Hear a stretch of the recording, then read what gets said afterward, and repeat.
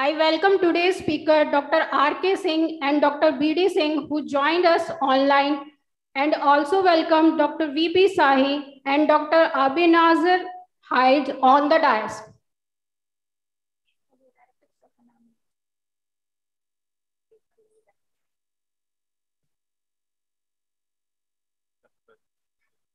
Now I would like to welcome conveners of the session, Dr. Firoz Hossain and Dr. Kiran Gaikwad.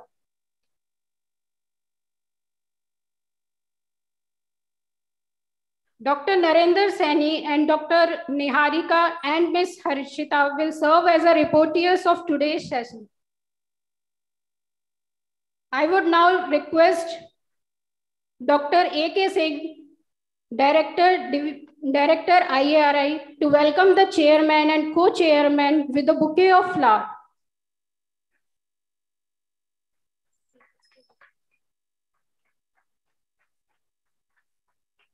Now I, I would request Dr. A.K. Singh to welcome the speaker with a bouquet of flowers.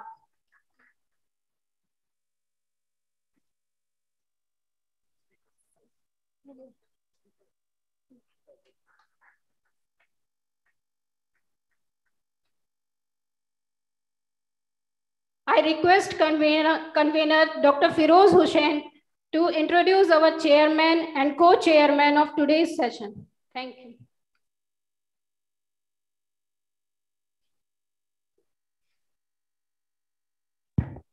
A very good afternoon to all the delegates and participants. I, on behalf of the, I, on behalf of the organizers and also on my personal behalf as convener, Uh, once again welcome the esteemed chair, Professor P.K. Gupta sir, to this session. We also welcome Honorable Co-Chair Dr. J.C. Rana to this session. I welcome the eminent speakers, Dr. R.K. Singh and Professor B.D. Singh, who joins us through online mode. I also welcome the distinguished speakers, Dr. Ebenezer Hyde and Dr. V.P. Sahi present on the dais. It is indeed a great pleasure and honor for me to introduce to you the chairman of today's session, Professor Pushpender Kumar Gupta. Professor Gupta needs no introduction to this august audience full of geneticists, plant breeders, molecular biologists, biotechnologists, and most importantly, the students. However, it is my pleasant duty to introduce to you some of his impressive achievements during his illustrious career. Professor P.K. Gupta is currently the honorary emeritus professor at the Department of Genetics and Plant Breeding at Chaudhary Charan Singh University, Meerut. Professor P.K. Gupta started his professional career at Meerut College in 1958-59 and DAV College, Muzaffarnagar in 1959-60, and later served as the lecturer at Gorakhpur University during 1960 to 69. He joined Meerut University in 1969, where he first served as reader, then professor in the Department of Agriculture Botany, now known as Department of Genetics and Plant Breeding. Later, he served as a Dean, Faculty of Agriculture till his retirement in December 1996. After his retirement from the active service, he continued working at Meerut University in various capacities like Emeritus Professor for Life, CSIR Emeritus Scientist, UGC Emeritus Fellow, INSA Senior Scientist, INSA Honorary Scientist, and NASI Senior Scientist. His area of research involved almost all areas of plant genetics and plant breeding, including cytogenetics, biometrical genetics, mutation research, quantitative genetics, molecular marker technology, and crop biotechnology. He has authored more than two dozens of textbooks on genetics and plant biotechnology, which are widely popular among the university students. He has published over 400 research articles and mentored nearly 100 PhD students. Professor Gupta is a fellow of Indian National Science Academy, New Delhi, National Academy of Science, Allahabad, Indian Academy of Sciences, Bangalore, and National Academy of Agriculture Sciences, New Delhi. Professor Gupta is decorated with many prestigious awards, which includes Birbal Sahni Gold Medal by Indian Botanical Society. I, on behalf of the organizer, once again thank Chairman Sir for agreeing to our request for chairing this session. It is equally a great pleasure for me to introduce to you the co-chair of this session, Dr. J.C. Rana. Dr. Jai Chand Rana is, is the country representative and the national coordinator, UN Environmental GEF Project, the Alliance of Bioversity International, and CIAT India Office, New Delhi. Earlier, Dr. Rana joined ICAR National Bureau of Plant Genetic Resources, New Delhi, as scientist in 1991. Later, Dr. Rana headed the division of germplasm evaluation at ICAR NBPGR during 2015 to 17. His area of research includes the plant genetic resource management, on-farm conservation, and climate change. He is the fellow of National Academy of Agriculture Sciences and various scientific societies like Indian Society of Genetics and Plant Breeding and Indian Society of Plant Genetic Resources. Dr. Rana is decorated with various prestigious awards like NAS Recognition Award, Dr. B.R. Barwale Award, ICAR MS Swaminathan Award for Outstanding Research on Hill Agriculture, and the ICAR UNDP Fellowship. I thank you, sir, for agreeing to our request to co-chair this session. Now I request the chair, sir, to please conduct the session. Thank you very much.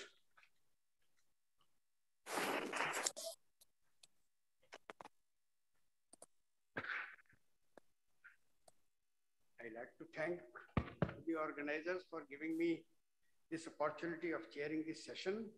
A very important meeting for me because I have already practiced and taught genetics for the last more than 60 years. And I must tell you that I enjoyed teaching genetics every moment during these last 60 years. It also resulted in publication of a number of books which are widely read, like those of Dr. B.D. Singh, who is another speaker this afternoon. These, the, we have decided that the first two speakers I will introduce, and the next two speakers my co-chair, Dr. J.C. Rana, will, will introduce and, and organize. Also because the first two speakers I have known for a long time, and therefore I can talk about them a little bit. Dr. Ram Kathin Singh, most of you may not know, I have known him ever since he returned from Germany after doing his PhD and joined Meerut University along with Professor R.B. Singh as pool officer and he was known at that time to be an important person in the country in biometrical genetics, which is also evident from the fact that he wrote a book on manual of biometrical genetics, which I used to consult by solving problems of biometrical genetics for our PhD students. That was the only book available at that time, and he never subjected to any revision, unfortunately. But talking about the career of Dr. Ram Kathin Singh, he did his BSc and MSc from Agriculture College, Kanpur, studying first in order of merit, and then he did his PhD from Germany, Rostock University, Germany. And as I told you, after returning from Germany, he was a very brief period. He was at Meerut University with us as a pool officer. We missed him because he left after quite a few months. He got a job at Haryana Agriculture University, where he was for long years, first as associate professor, and then as professor. And then in 80s, he shifted to Faizabad Agricultural University as Dean, uh, College of Agriculture, and he stayed there for about another 30 years and superannuated from there. Of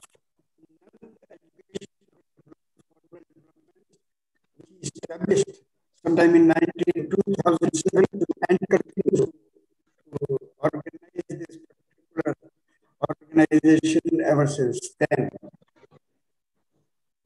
Ram Kathin Singh likes to speak in Hindi. His program is Ishaki Ke Pratham Sopan. So he's going to tell us about genetics. In Hindi, we will also listen some poetry from him because he is very fond of writing poems. He has also published a book on the poet, poems which he has written. So uh, we will definitely enjoy his, his presentation, a novel presentation, because it is going to be in Hindi and little bit poetic. The second speaker also I can introduce because we can then listen to both of them in continuation. Dr. Brahmadev Singh. I have known him almost uh, last 50 years now. 1970s when he returned from uh, from Canada after doing his PhD. Ever since then, and Professor R.B. Singh was professor and head. I attended a conference in Banaras University, and there he was introduced as an important speaker because in tissue culture he was he just came from later on. You must see seen from his from his biodata that in 1965 he graduated, did his BSc from Allahabad University, then MSc in 1967 from Kanpur University, and then his PhD from University of Saskatchewan, 1972. Perhaps not from, from the science, from the crop science department, perhaps he was in botany department, if I'm correct, because he worked on tissue culture there, not really on plant breeding. But nevertheless, he was one of the most important person in the field of culture. And then at Banaras Hindu University, he worked for a number of years in the genetics and plant breeding department, and then shifted to School of Biotechnology later on, and there continued for the rest of his life before he superannuated. After superannuation, or before superannuation, he was also rector of the university. I remember I visited as a member of UGC team along with Professor R.B. Singh to monitor the program. At that time, he really looked after us because he was the rector at that particular time. A rector position in Banaras University is an, is an important position. And most importantly, students of genetics and plant breeding know him by his books on genetics and plant breeding. And I must tell you that my publisher asked me a number of times to write a book on plant breeding and I thought I should not because I cannot compete with the book written by, by Dr. B.D. Singh. So his books are very popular. Also because many students think that he writes in a language which is easily understandable by the students.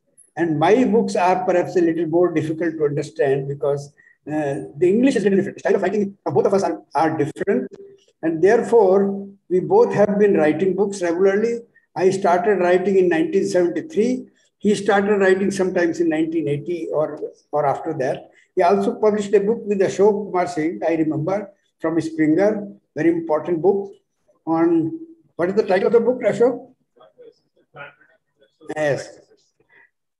And so you, you know that Dr. Baldev Singh, uh, Brahmadev Singh, is known to the students of plant breeding and genetics. And, and the book on plant breeding, I also consult it once in a time whenever I need, need some important information. So these two speakers, unfortunately, could not attend in person, and therefore they decided to uh, give their lectures online. And I am I'm sure you will enjoy these two lectures. And the next two lectures, my co-chair will look after. Thank, thank you very much.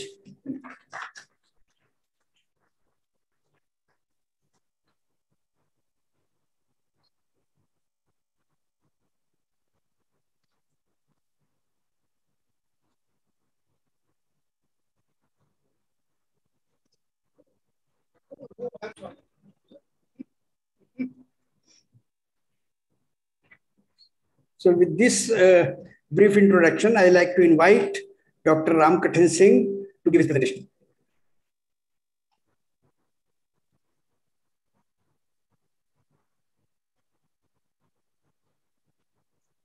Good afternoon, ladies and gentlemen. Am I audible? Hello? Hello, Sunai Dera? You are audible, sir. Okay, thank you very much. You are audible, sir. Okay, thank you. I thank Dr. Uh, for uh, inviting me and thus making it possible to uh, see a number of people and new I am saying Dr but I'm so happy to see him in such a good health. I hardly see any change in him. God seems to be very kind to him. Uh, I have been, I'm supposed to speak about my book, Anubanski ke Pratham Sopan. Actually, uh, what Dr. Ashok uh, exactly wanted from me, I don't know. But anyway, to me, it, uh, it's a great surprise that uh, he has put me as a speaker before such an enlightened audience, uh, that too on a very trivial topic. Friends, I shall not be talking any science to you. So you may be disappointed on that account.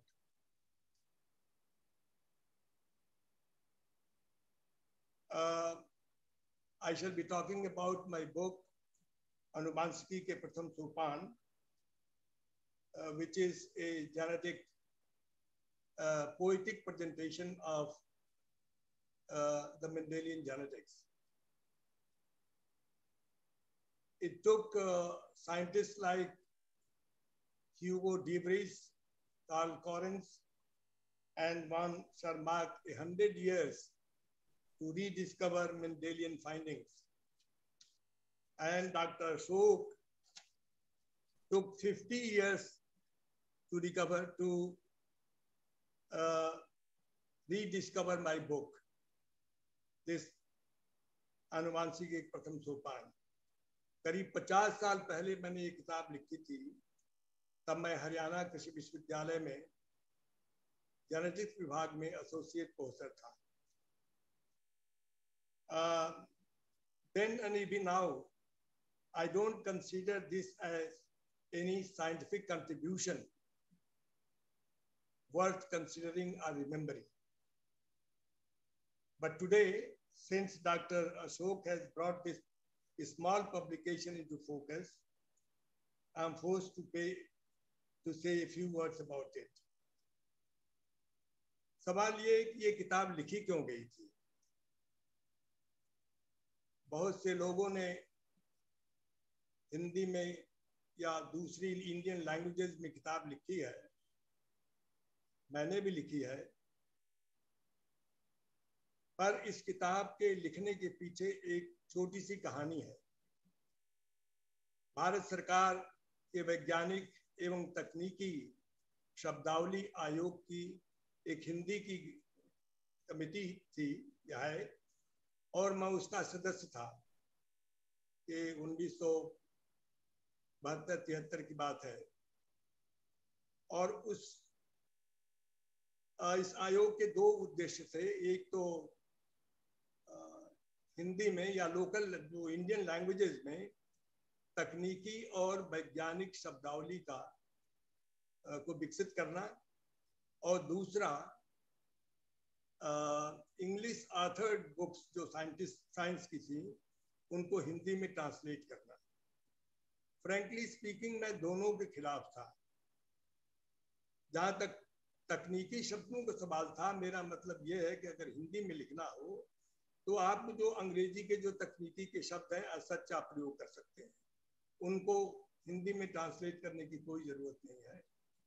और दूसरा, अनुवाद के मैं बिल्कुल खिलाफ था। मेरा argument था कि हमको ओरिजिनल या मौलिक किताबें लिखवानी चाहिए।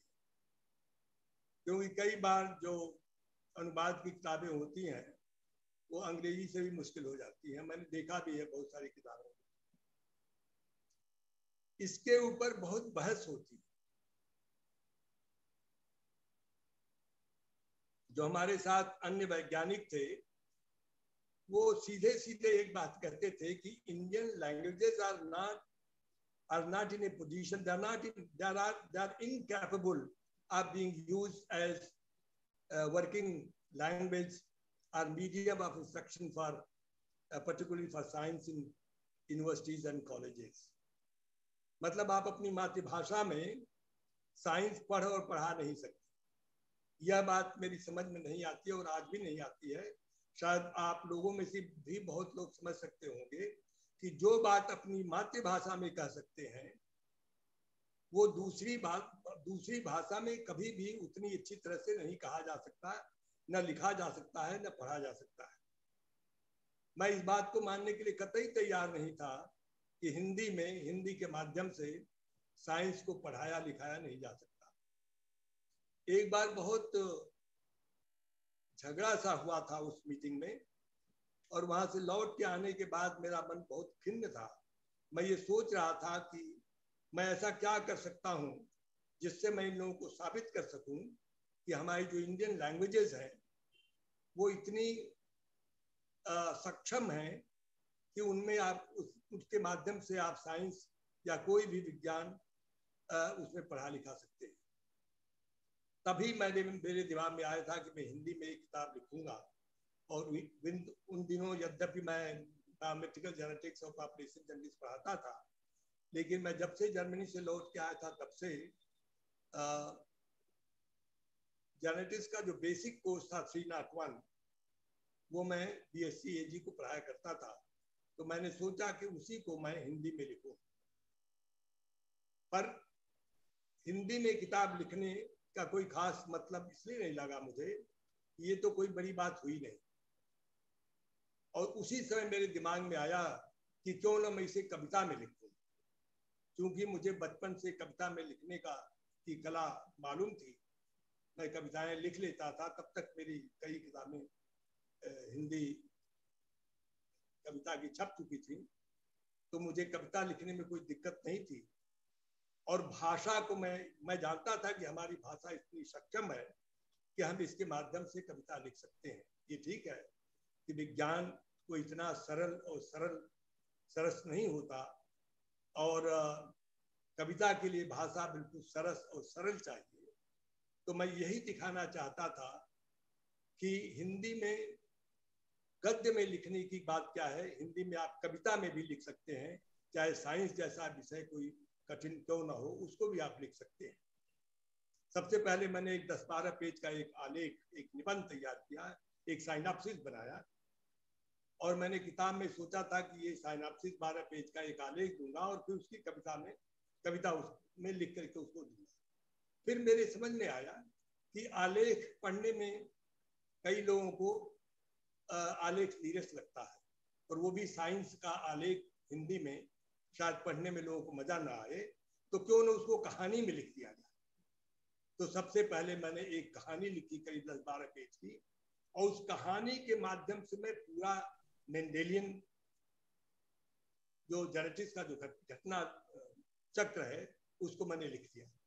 तो मुझे ऐसा लगता था कि कहानी पढ़ते पढ़ते आप कोई भी बहुत आसानी से मेंडेलियन जेनेटिक्स को समझ जाएगा। और कहानी एक ऐसी चीज़ है कि जब आप पढ़ना शुरू करेंगे तो शायद उसको बंद नहीं करेंगे, वो उसमें मज़ा आता जाता है और उसको आप अंत तक उसको पढ़ लेंगे।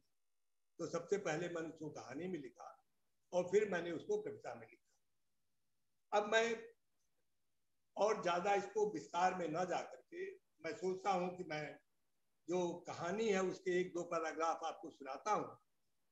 जिससे आपको पता लगे कि ये किस तरह से लिखा गया है। और फिर मैं जो इसमें जो कविता का अंश है उससे मैं थोड़ा बहुत आपको सुना सुनाता हूँ। और, और फिर जिससे आपको लगे कि भाई किस तरह की कविता लिखी गई है और क्या यह इस कविता के माध्यम से मैं अपनी बात कह पाने में सक्षम हूँ या नहीं।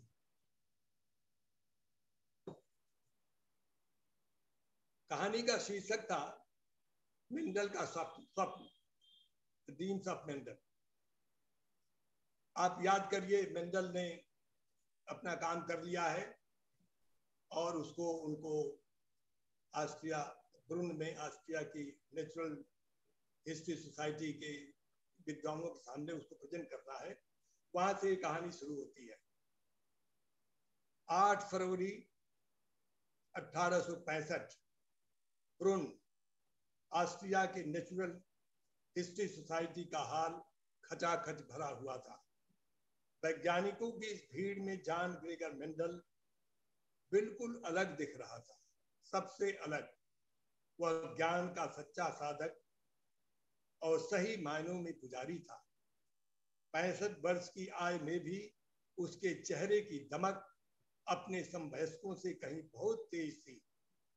ज़िंदगी भर अपनी साधना में लीन ब्रह्मचर्य जीवन बिताने वाला वह साध आज बहुत खुश नज़र आ रहा था।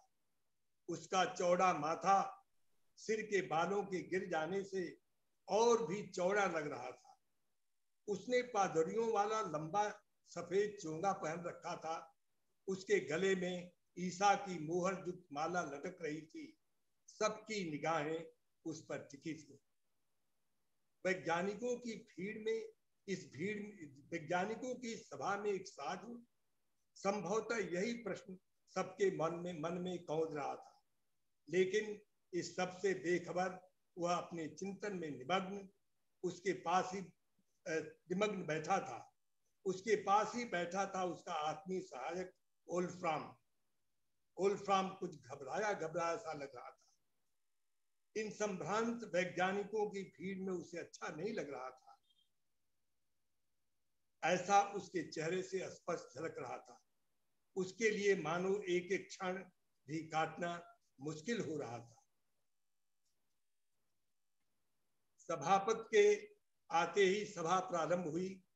औपचारिकताओं के बाद सभापत ने घोषणा की, अब मैं आज के प्रमुख वक्ता जान ग्रेगर मेंडल से निवेदन करता हूँ, वे अपनी शोध पत्र का, पत्र सभा के समक्ष प्रस्तुत करें। इतना कहकर वो सभापत ने अपना स्थान ग्रहण किया। उधर जान ग्रेगर मेंडल अपने सहायक से सभी आवश्यक पत्राद लेकर मंच की ओर चल पड़े। सब शांत थे। सबकी निगाहें उस पुजारी की ओर थी। क्या कहेगा ये पुजारी? क्या बताएगा ये पुजारी? सब लोग सब लोग उसे सशंकित, भ्रमित से देख रहे थे। जान के संबोधनात्मक शब्दों से स्तब्धता भंग हुई। वह बोल रहे थे बाकी सब एकाग्रचित होकर सुन रहे थे। किंतु ओल्फ्राम का ओल्फ्राम का मानो रक्तचाप रक्तचाप बढ़ गया था। उसकी सांस लेने की गति तीव्र हो गई थी। उसके माथे पर पसीना स्पष्ट झलक रहा था। उसकी निगाह अपने देवता पर टिकी थी। बहुत देर तक वह कुछ समझ न सका। किंतु थोड़ी देर बाद जब वह कुछ आश्वस्त हुआ तो उसे अपने देवता के सब सुनाई पड़े। वे अपने उन्हीं प्रयोगों की चर्चा कर रहे थे जो उन्होंने मटर के पौधों पर किए किए थे। ओल्फ्राम न जाने कब फिर अतीत के गर्भ में हो गया।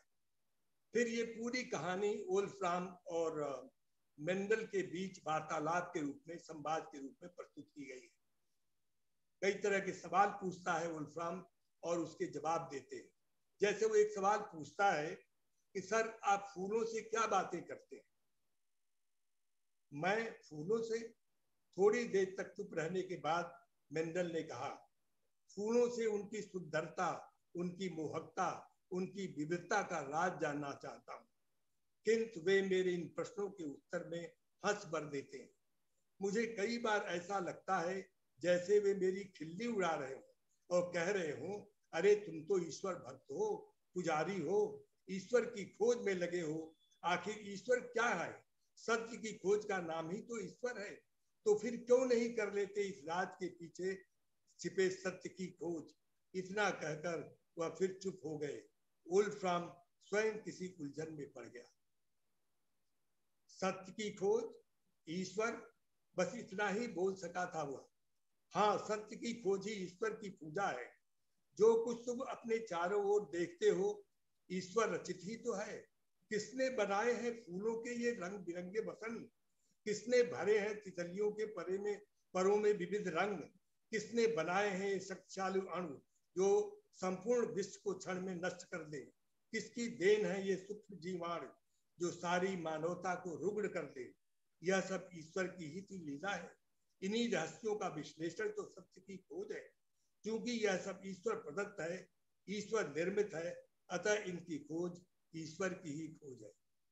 इस तरह से ये सब आगे चलता रहता है और मैं एक पैराग्राफ और पढ़ता हूँ और इसके बाद इसको कहानी को बंद करता हूँ। ऐसे ही कहानी चलती है। मैं केवल उदाहरण के तौर पर आपसे कुछ ये बातें मैं आपको बता रहा हूँ। ये बताते हैं उसको कि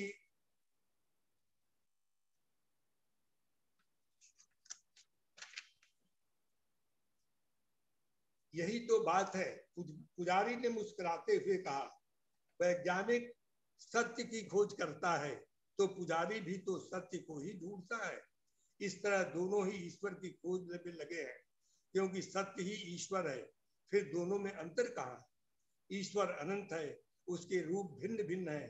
कौन व्यक्ति उसके किस रूप की ओर आकृष्ट होता है, उसे किस रहस्य की गहराई में जाकर सच्चाई जानना चाहता है, अंतर बस इतना भर है। जीव वैज्ञानिक के सत्य की खोज का पहलू, भौतिक शास्त्री के खोज के पहलू से भिन्न होना स्वाभाविक है। एक जहाँ जीवित सत्य को ढूंढता है तो दूसरा जड़ता के सत्य को, परंतु उद्देश्य दोनों के एक है। सत्य की खोज अर्थात ईश्वर की खोज। इस तरह से पूरी कहानी कही गई है और इस कहानी के माध्यम से पूरी मेंडलियन जेनेटिक्स को का इसमें वर्णन किया गया है। तो कहने का मतलब ये है, मित्रों की जब आप इसको पढ़ेंगे तो आपको लगेगा कि आप कहानी पढ़ रहे हैं और कहानी पढ़ते पढ़ते आप पूरी मेंडेलियन जेनेटिक्स का जितना भी मेंटल के एक्सपेरिमेंट्स हैं, उनसे जो डेटा आए हैं, उनके जो एक्सप्लेनेशन, उनकी व्याख्या है, उनके जो रिजल्ट्स हैं, सब कुछ आपको इस कहानी के माध्यम से मिल जाएगा।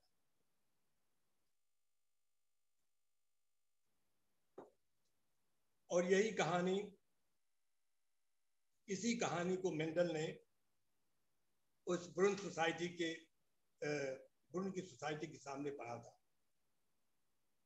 अब मैं इसका जो दूसरा पहलू, जो कविता का है, उसके कुछ उदाहरण आपको देता हूँ। जो कविता का जो खंड है, वो छह भागों में बटा हुआ है। हर खंड छोटे छोटे खंड हैं और हर हर खंड की शैली अलग है, कविता की शैली अलग है। कविता कब भाषा कब कविता बन जाती है, यह जब आप इसको ध्यान से पढ़ेंगे, तब आपको समझ में आएगा।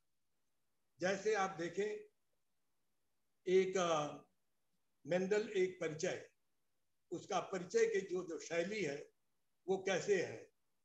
कि मेंडल किसी चर्च में था पुजारी, प्रकृति रूप सी थी उसे नई न्यारी लगा चर्च के साथ था बाग सुंदर सजे थे जहाँ पर विविध पौध तरवर। कभी देखता वह विकसते सुमन को, कभी फूल के लाल पीले बसन को। कभी पौध की पत्तियों की सजावट, लुभाती कभी भृंग की गुनगुनाहट। अधिकतर समय वह बिताता चमन में, पनपते विविध प्रश्न मन के गगन में। आधार क्या है? भला किस तरह से नई पौध में पितृ के रूप भी से?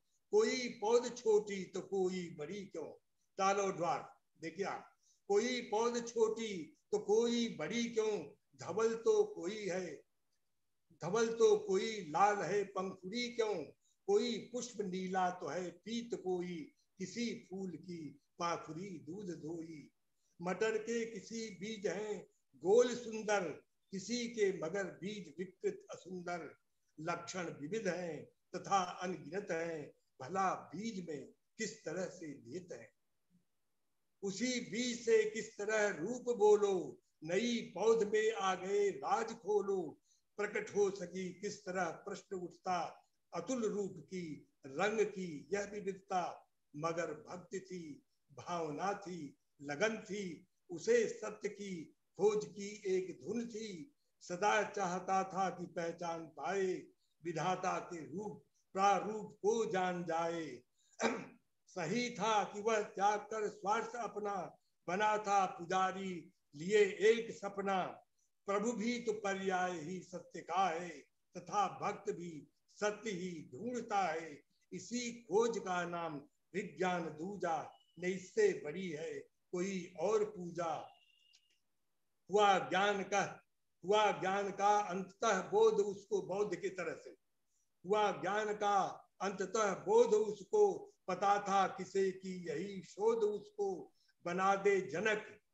घोष करके बिगुल का, अनुवांशिकी के नए ज्ञान कुल का, अनुवांशिकी के नए ज्ञान कुल का। ये मेंडल का परिचय है और इसकी शैली आपने देखी किस तरह की है इस कविता की। एक और आपको संदर्भ सुनाता हूँ। जो है विशुद्धता का सिद्धांत। और इसकी शैली देखिए किस तरह से। इसकी शैली बिल्कुल अलग है। मेंडल के चर्चित प्रयोग की अद्भुत एक कहानी है। सुनो, सुनाता हूँ मैं तुमको, मुझको याद जुबानी है। पहले तुम सामान्य ज्ञान की बातें तुम्हें बता दूँ मैं। पौधों में भी लिंग भेद होता है। यह समझा दूँ मैं है कुछ सुमन छिपाए रहते नर मादा अपने भीतर, पर कुछ अलग अलग फूलों में रहते किंतु उसी तरु पर। देखी तो होगी अवश्य ही, देखी तो होगी अवश्य ही, पौध पपीते की तुमने, कुछ पौधों पर फल लगते हैं, किंतु बिना फल भी कितने। नर की पौध अलग मादा से, पर मादा ही फल देती ले लेकर नर से पराग कण जब जब गर्भवती होती, इसको पर सेचन कहते हैं। अलग अलग इसके साधन, कभी तितलियाँ, कभी मक्खियाँ, कभी हवा में उड़ते कण। किंतु किंतु साथ ही नर मादा का एक फूल में ही रहना, अपने ही नरकण से सेचित होकर नव पीढ़ी जनना। नई नहीं यह बात इसे ही स्वयं परागण कहते हैं। पौध शास्त्र की हर पुस्तक में छात्र इसे नित पढ़ते हैं। मटर अनोखी सी मिसाल है, स्वयं परागण की विधि की। संतति पर इसके प्रभाव को परखें मेंडल की रुचि थी। इसके लिए जान मेंडल ने समुचित निम्न प्रयोग किए। लाल फूल के अलग, धवल के अलग बीज उपयोग किए। प्राप्त बीज बौनी पौधों के लंबी से कर लिए बिलग पीली और हली दालों के पौधों से थे बीज अलग। अलग अलग फिर बोया उनको, अलग अलग काटे दाए। अलग अलग पहचान किए उनके लक्षण जैसे पाए। कई साल के बाद मिली जो उसे अनोखी बात सही, अपने लक्षण से पहचानी जाती हरेक जात सही। लाल फूल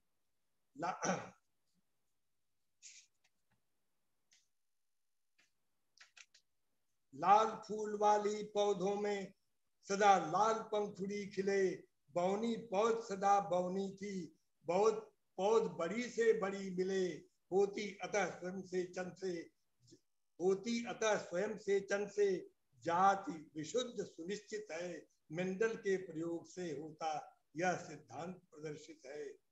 और, एक, जो प्रबलता का सिद्धांत है लॉ ऑफ़ डोमिनेंस उसके पर देखिए आप कि जब भिन्न भिन्न दो गुण वाले नर्मादा आपस में मिलते, तब हैं संकर पैदा होते। हम इसे संकरण है कहते। मिंडल ने इसे ध्यान में रख।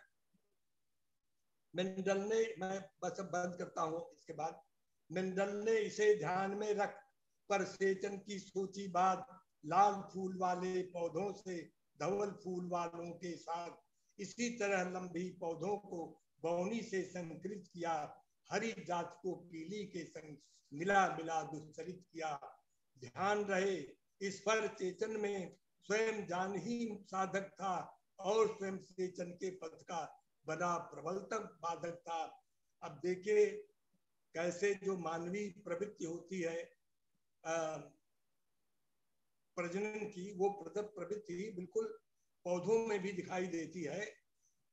जब आप जो बर्ड सिलेक्शन करते हैं, उसी के दो बट सुनिए, इसके बाद मैं बंद करता हूँ आप। कि इसके पहले ही की कोमल, देखिए ध्यान दीजिए आप, कि इसके पहले ही की कोमल कलियाँ निज आंचल खोलें आंचल क्या होता है? आंचल ढकने के लिए होता है। तो कलियों के आंचल क्या होते हैं? सेपल्स और पेटल्स तो इसके पहले ही की कोमल कलियाँ निज आंचल खोलें, इसके पहले ही की नर, नरकण मादा के मधुतन छू लें कोमल कलियों के वह आंचल देता था खुद बरबस खोल, रख देता होठों पर चार फूलों के नरकण अंगूर। हो गया, कर दिया हाय कौमारी भंग कोमल कलियाँ कुछ कर न सकी। हो गए बहिष्कृत पतून के वे और किसी के साथ बसी, वे और किसी के साथ बसी। इसी तरह से सारी कविताएँ लिखी गई हैं। पूरी कविता आपकी, आपको रिप्रिंट करके किया हुआ है। आप उसको पढ़ सकते हैं। मैं अंत में चार लाइनों के साथ मेंडल को प्रणाम करते हुए अपनी बात समाप्त करता हूँ कि आओ हम नतमस्तक होकर उसको करदब करबद्ध प्रणाम करें आओ हम नतमस्तक होकर उसको करबद्ध प्रणाम करें तन मन से दत्त चित्त होकर कुछ काम करें कुछ काम करें धन्यवाद बहुत बहुत धन्यवाद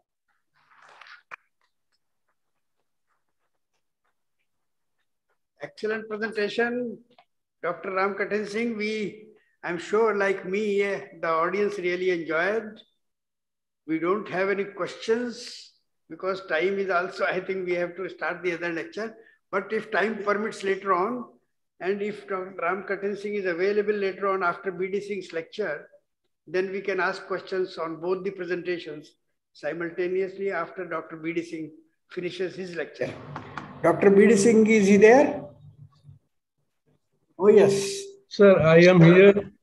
Okay, Dr. BD Singh, nice seeing you. I was looking forward to seeing you in person, but doesn't matter.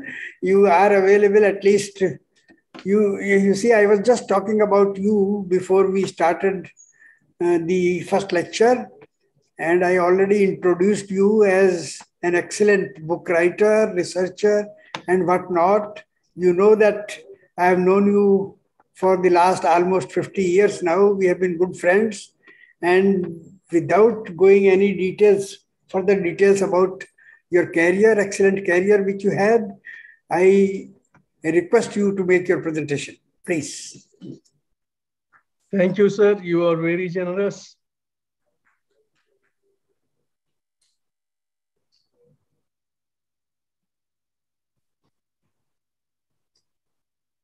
Uh, Honorable Mr. Chairman.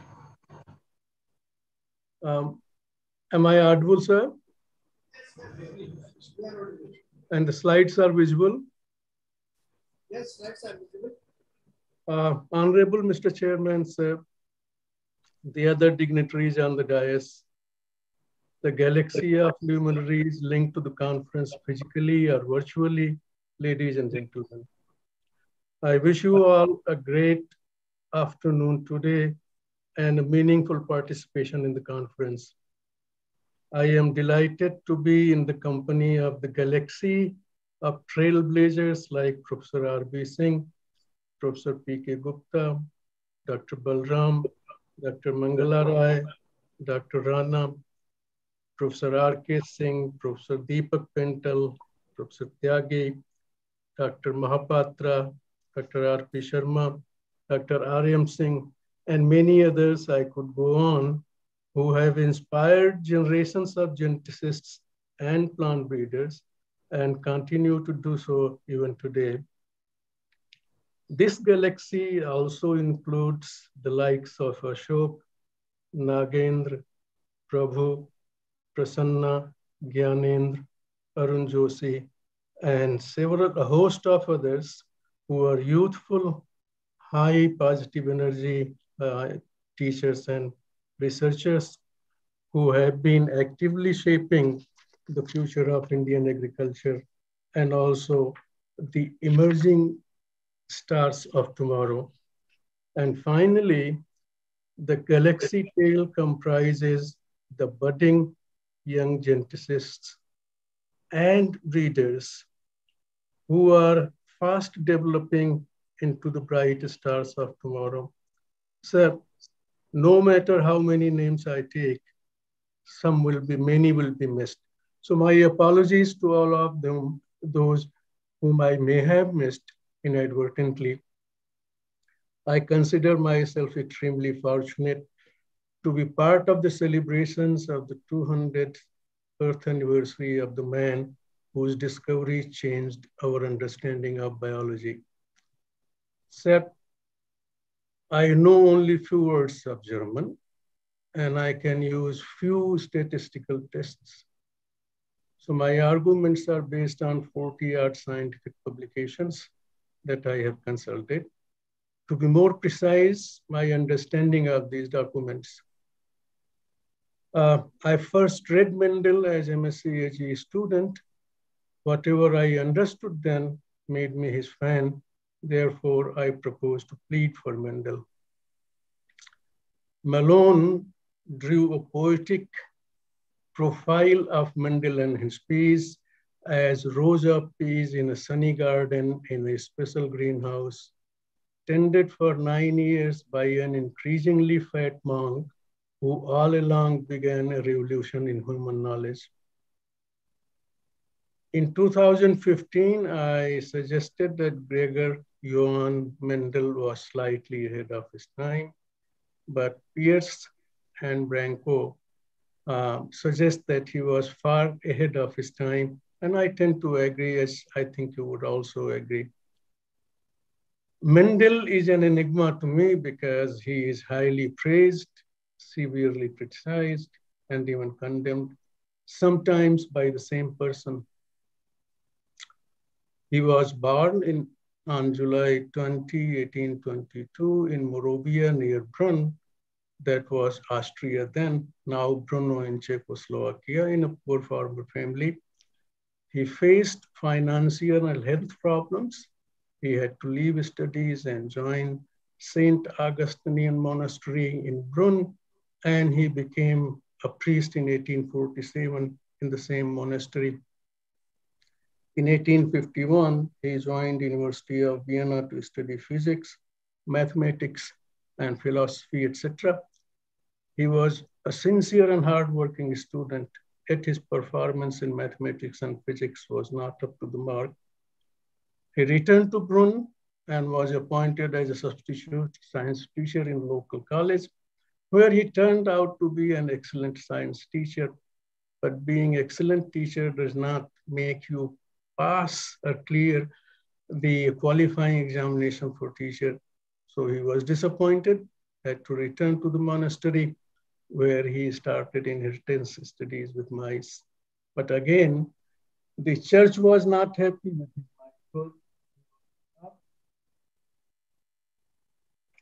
asked to stop breeding mice. So he turned to plants, particularly the pea, which turns out to be a really um, uh, lucky uh, uh, break for most of us. Mendel meticulously planned his experiments, collected his material in 1857, grew 34 varieties out of which he selected 22 varieties after two years because they were pure and the characters they showed that could be scored easily and reliably. Um, he carried out a meticulous and detailed analysis of uh, all the previous work. And this would make a useful reading for anyone um, working in any area of plant sciences. He designed an experimental procedure that was perfect for the kind of study he did. And there has been no improvement in this design since then. He was extremely careful in execution of the experiments, including the recording of the numbers of various character forms in the segregating generations. The um, novel thing was that he applied mathematics to biological studies, which was something that biologists did not like. Uh, even Darwin thought mathematics was uh, like a scalpel in a blacksmith's shop. Um, he recognized that chance deviations could, could occur from exact uh, expected ratios. So uh, he considered uh, various deviations from 3 is to 1 as uh, 3 is to 1. And his um, interpretation of and presentation of his findings was highly insightful. Mendel was extremely lucky in several ways. Uh, his experiments concluded in 1863, and the next year, the entire pea crop in Brunn area was destroyed by pea weevil. The seven traits that he selected for his study showed monogenic control, complete dominance. Actually, in one case, the seed coat color, there was partial dominance and the hybrid could be uh, uh, differentiated from pure colored seeds. Uh, this Mendel has described in his paper. He did not encounter linkage and he ran into several problem cases, but only after he had worked out the rules of his inheritance. Um, in terms of linkage, two genes, uh, seed coat color and cotyledon color, they are located on chromosome one. They do not show linkage. Three genes, that is pod shape, flower position, and stem length are located on chromosome four. And only the pod shape and stem length, they show linkage, but Mendel did not study this character pair in any detail but then luck goes only so far. He studied Phaseolus. Uh, he ran into a qualitative trait that is flower color that showed uh, multi-gene control and two um, and characters that were quantitatively controlled, say for example, flowering time and peduncle length. He carried out experiments with Hieracium and um, found a very different kind of segregation parent F1 variable, F2 uniform. So he suggested two systems of inheritance, Pisum and Hieracium systems of inheritance that constituted some higher part of higher general law of inheritance. He worked with honeybees that was never published. Uh, the honeybee uh, we all know now has diploid female and haploid males. Uh, the contemporary biologists did not appreciate his findings. And after his death, the monastery burnt all the records of his experiments. Mendel presented his findings at two meetings in 1865, uh, meetings of the Society of Natural History of Brunn. Next year, the paper was published in the Proceedings of the Society. Who, which was distributed to USA, Europe, most of the libraries there. And uh, Mendel sent reprints of his paper to several scientists. Some suggest to Darwin also that was uh, never read by Darwin. The paper was cited only three times, that too only in passing, before its rediscovery in 1900. Uh, some claim that Mendel grew disillusioned and died a broken man because his work was not recognized. But Malone, Malone notes that uh, about his beaver, Mendel would say to his friends gently or even humorously that my day will come. And we know that his day did come belatedly, slowly, but surely. The Mendel's paper is believed to be have been rediscovered by three scientists, De Vries, Correns, and Von Tschermak. Some also credit W.J. Spillman of USA as the fourth rediscoverer of Mendel's laws of genetics. Uh, it is um, suggested that the three rediscoverers showed only incomplete understanding of the Mendel's work and that they revised their methods and interpretation of their data in the light of Mendel's work. Hugo Vries wanted to claim priority and he complained that uh, unfairly Mendel was honored as the founder of genetics. Correns did not like this um, idea of Vries. And actually, Correns and Tschermak were more appreciative of Mendel's contribution and they proposed terms Mendelism and Mendel's laws in honor of Mendel.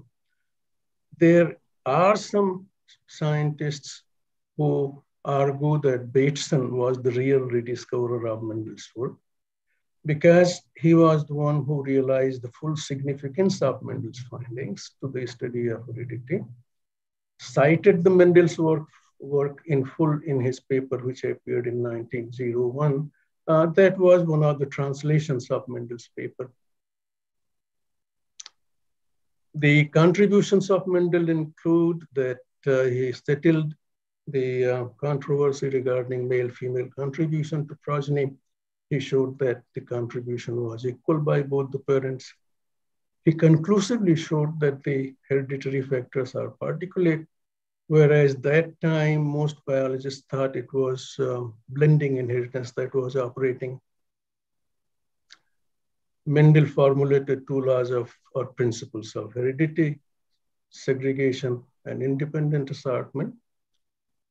The law of segregation um, gives to uh, is based on obtaining three is to one ratio in F2, one is to two is to one ratio in F3. but this explanation is involves a number of assumptions like uh, equal uh, proportion of gametes produced by F1, equal survival of gametes, equal success in fertilization by the gametes, equal survival of all the kinds of zygotes, single gene control of the trait, and complete dominance. If any one or more of these um, assumptions fails, this will cause deviation in the expected ratios in F2 and F3. Actually, Mendel made back crosses to the two parents to test some of these assumptions, and he found them to be valid for the cases that he had studied. Um, if there is segregation for a single dominant gene, um, uh, let's ask ourselves, which, will, which of the following ratios will be obtained in F2? 3 is to 1, 2 is to 1, 1 is to 1, all of the above.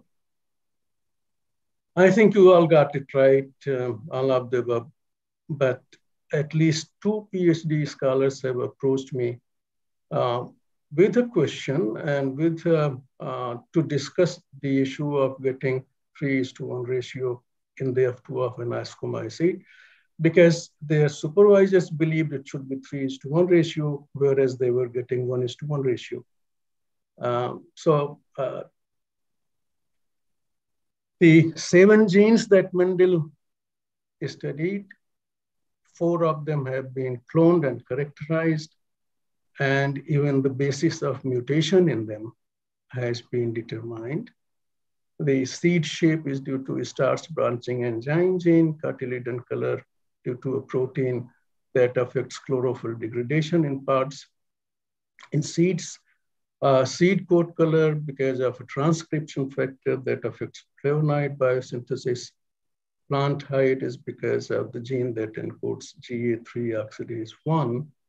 Um, one um, mutation is because of transposon insertion. The other, other is insertion of two uh, amino acids or two codons. And then there are G to A transitions in the next two uh, genes. The other three genes have been identified, candidate genes in one case identified, and they are uh, involved in uh, chloroplast structure in pod wall, part and um, secondary cell wall deposition in case of pod shape, and a protein that affects meristem function in case of flower position gene. Um, among the things that I have talked about uh, Mendel's contribution, my own feeling is that the uh, most important contribution was the concept of gene, which he suggested was particulate we know today that is DNA, that it performed function. At that time, it was production development of a trait. We know that the gene today, um, we believe then, we accept this, that the gene today uh, encodes a diffusible product, that the gene shows inheritance, alleles remain pure and segregate. There are two exceptions, of course, we know plasma genes and paramutation that non-alleles segregate in individually. In fact, they segregate in linkage blocks. That's what we understand today. That the genes mutate so that they have alternative forms called alleles. Um, but uh, we know that um, instead of two, the genes can have multiple, generally can have multiple alleles. Even Fisher noted that uh, Mendel's findings have been either overlooked or misrepresented. Uh, in the initial period, Mendel's work was considered to be a repetition of the earlier work of, on hybridization, nothing new. And subsequently, uh, many argued that the Mendel's laws of inheritance are difficult to reconcile with the idea of continuous evolution. the um, uh, difficulty in continuous evolution, according to Mendel's laws, persists in the minds of some people even today. Um, Mendelian inheritance is often taken to mean oligogenic inheritance, Mendelian genetics uh, as equivalent of genetics of qualitative traits. Mendelian ratios often is treated as 3 to 1, 9, 3, 3, 3, 1, etc. ratios. And um, for quite some time, it was argued that Mendel believed, proposed and believed in one gene in one character. This is not actually correct. In his 1865 paper, Mendel had proposed multiple gene control, uh, multiple gene control of flower color in Phaseolus. Uh, Mendel studied seed coat color, but often uh, he's, um, he's said to have studied flower color. For example, NCERT books list flower color as one of the seven traits studied by Mendel. Even Wikipedia lists same.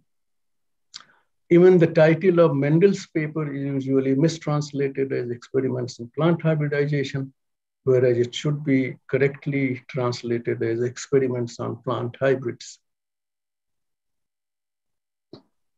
Several studies have attempted to compare Darwin and Mendel. Um, there is ample evidence to show that Mendel read Origin of Species. He also had collected other books of Darwin. And, um, but there is no definitive evidence that Darwin ever read Mendel's paper or was familiar with his findings. Um, Fairbanks reports that Mendel accepted the tenets of Darwinian evolution. He was not opposed to the idea of evolution, but while privately pinpointing aspects of Darwin's views of inheritance that were not supported by Mendel's own exper experiments. These ideas, pangenesis, role of pollen, influence of environment on heritable variation, Mendel did not agree with them, and so he noted that on the book that he studied.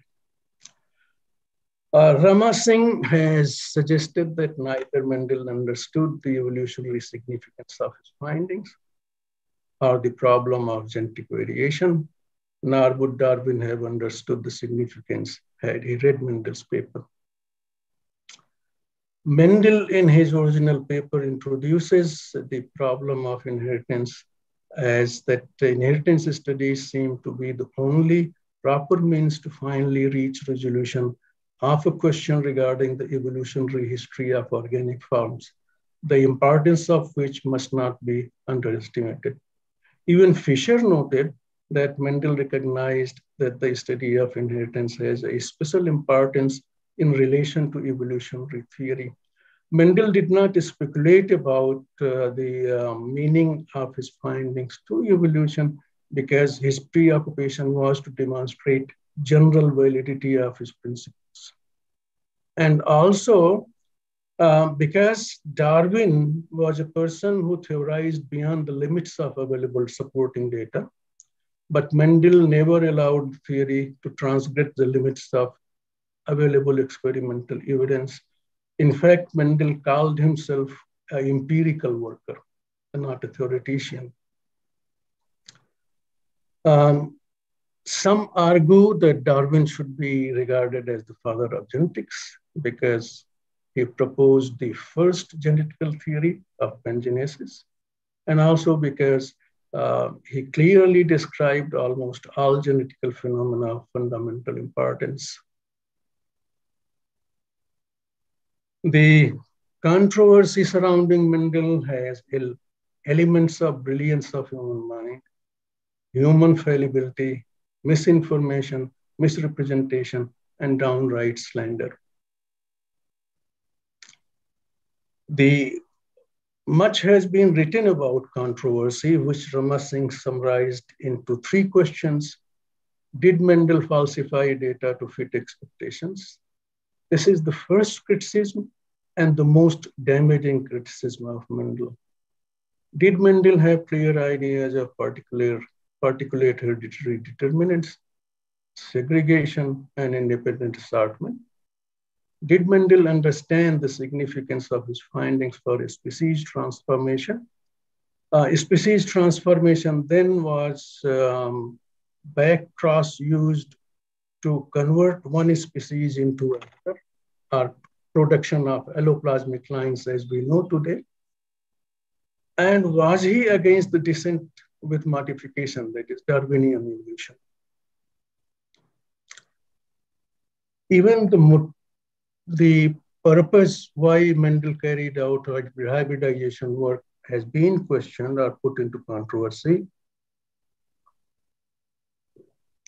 The textbooks note that it was for understanding inheritance. Fisher felt that uh, Mendel already had developed the theory of inheritance theoretically, and he wanted to only demonstrate that his theory was valid. Olby suggested that it was to see if F1 could develop into a new uh, species. But uh, recent analysis by Van Dijk et al., um, Ellis and co-workers actually, uh, suggest that Mendel was essentially engaged in plant breeding activity. And from that, the genetics work emerged um, as a consequence of that work. Uh, the first analysis of Mendel's data, chi-square analysis, was done by Weldon in 1902. This was followed in 1936 by Fisher's detailed analysis um, of reconstruction of Mendel's experiments and chi-square analysis. And he concluded that there was data falsification. The Fisher's paper remained largely unnoticed till um, 1964, when De Beer drew attention to it.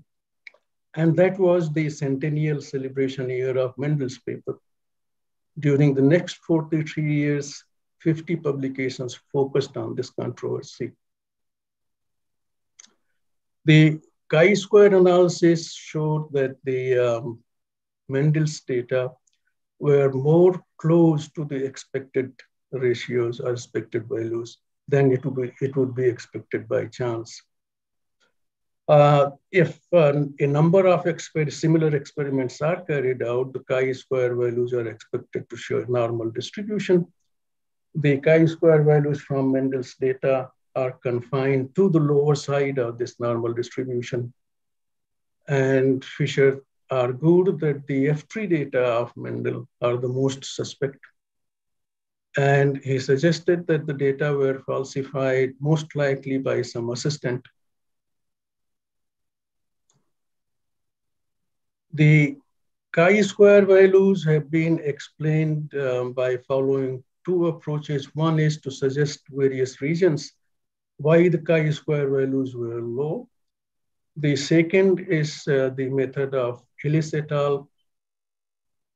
detailed and elaborate reanalysis of the Mendel's data for chi-square and to show that uh, the method of aggregation and combination of the data created artifacts of anomalous chi-square distribution, that it was not real actually. The um, reconciliations that have been suggested, uh, one is by Pires and Branco.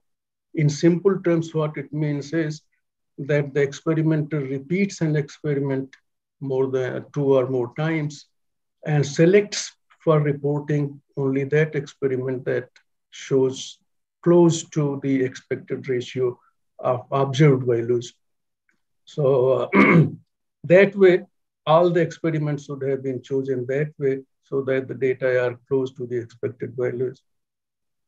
The question about F3 data is that the, in F2, the homozygous dominant and heterozygous dominant should be in one is to 1 is to 7 ratio than 1 is to 2.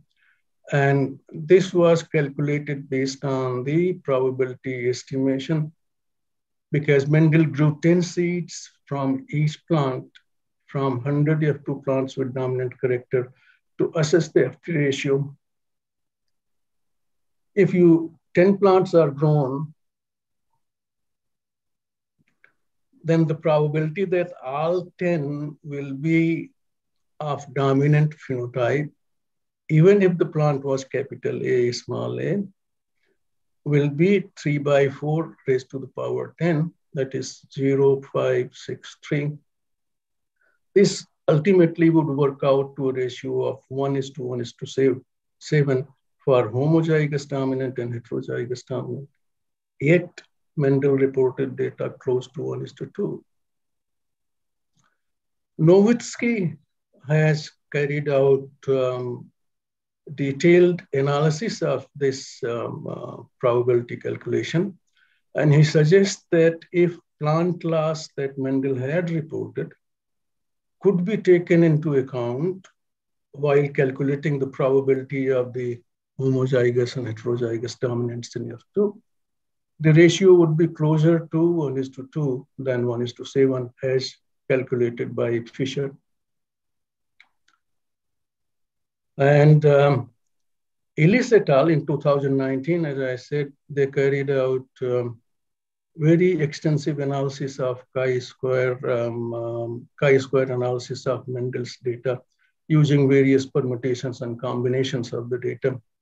Um, I am no one to uh, suggest uh, comment on the validity of this analysis, but I will only share what they concluded from this analysis.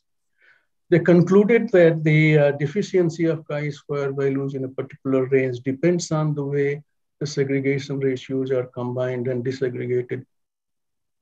Therefore, the proposed deficiency of chi-square values in the case of Mendel's data appears to be more an artifact of the way that last analysis segregated the data rather than problem with the actual data.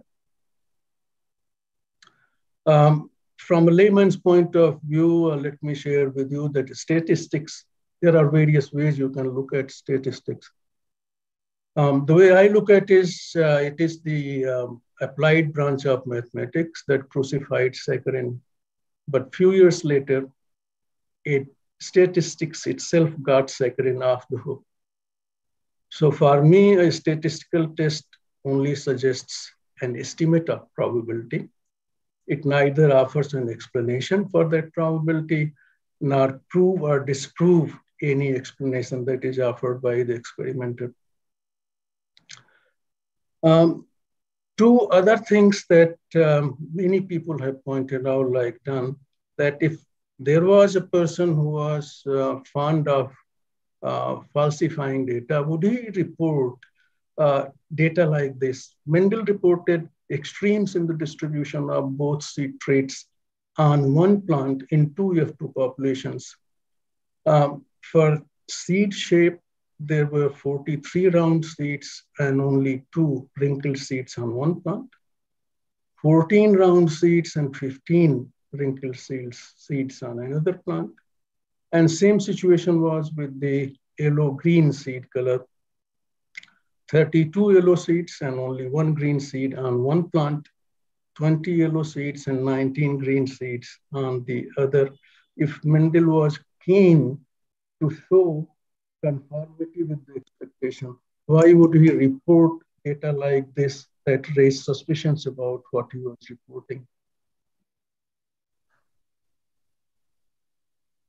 Further, would he report that the flowering time was intermediate, not uh, resembling one parent? That the flower color in uh, Phaseolus was a multi-factor control system, not one gene control? That in Hieracium, there was variation in F1 and uniformity in F2, yet he reported these data. Um, now I reach a danger zone one does not raise an eyebrow about genius so long as one is not possessed by societal tendencies. But as advocate of Mendel, I should proceed. There are four statements or issues in Fisher 1936 that seem to be inconsistent with his genius. Fisher lamented that Mendel did not use uh, the test of significance of deviation of his ratios. But uh, a statistical genius like Mendel would surely have known that Mendel did not have statistical methods available to him for carrying out the kind of test that was expected of him because only in 1901 chi-square test was developed, as I understand. Then the second point is that uh, Mendel reported plant loss of 6 to 7%. Um, but Fisher did not consider plant loss in his calculations, particularly in relation to the 1 is to 2 ratio that I pointed, uh, showed earlier. Uh, had he considered this plant loss, um, as Novitski argues, that the uh, expected data should have been close to 1 is to 2 and not as 1 is to 7. Uh, the third issue is that uh, consistently Fisher uses flower color as a trait studied by Mendel, whereas Mendel had clearly mentioned that he had studied seed coat color. And this flower color used by Fisher has created quite a confusion, as I mentioned, that many believe that Mendel had studied flower color. Even NCERT books list flower color as one of the studied traits. I also earlier suggested that uh, Fisher suggests that um, Mendel had first worked out the genetical system of inheritance theoretically. And he claims that any modern, the modern genetical system could have been inferred by any abstract thinker in the middle of the 19th century. And that Mendel developed this theory and then carried out experiments to demonstrate his theory. He goes on to suggest that uh, his above suggestion comes out of a study of the development of Darwin's ideas. Uh, but let me point out that uh, Charles Darwin was a superb abstract thinker, no one would question that. He was a genius. He had observed dominance in F1, 2.4 to 1 ratio in F2, in Snapdragon, and he had written a complete book on all such cases. He had assumed particulate inheritance, that is pangenes, but yet he proposed the theory of pangenesis in 1868. The four statements are issues that I noted do not add to the merit of the thesis or the arguments of Fisher 1936 then why are they there? Uh, I do not know. The only suggestion I would um, like to make is that human fallibility is all pervasive. Then uh, Mendel did not visualize pair factor concept. This has been argued by many, including Rama Singh, uh, because uh, the reason for this is claimed to be Mendel represented parents as capital A and small a, and not as capital A and capital A and small a and small a. The actual fact is that in his paper, Mendel reports F2 as capital A, oblique, small a, and so on. The oblique line uh, separating the male and female contributions.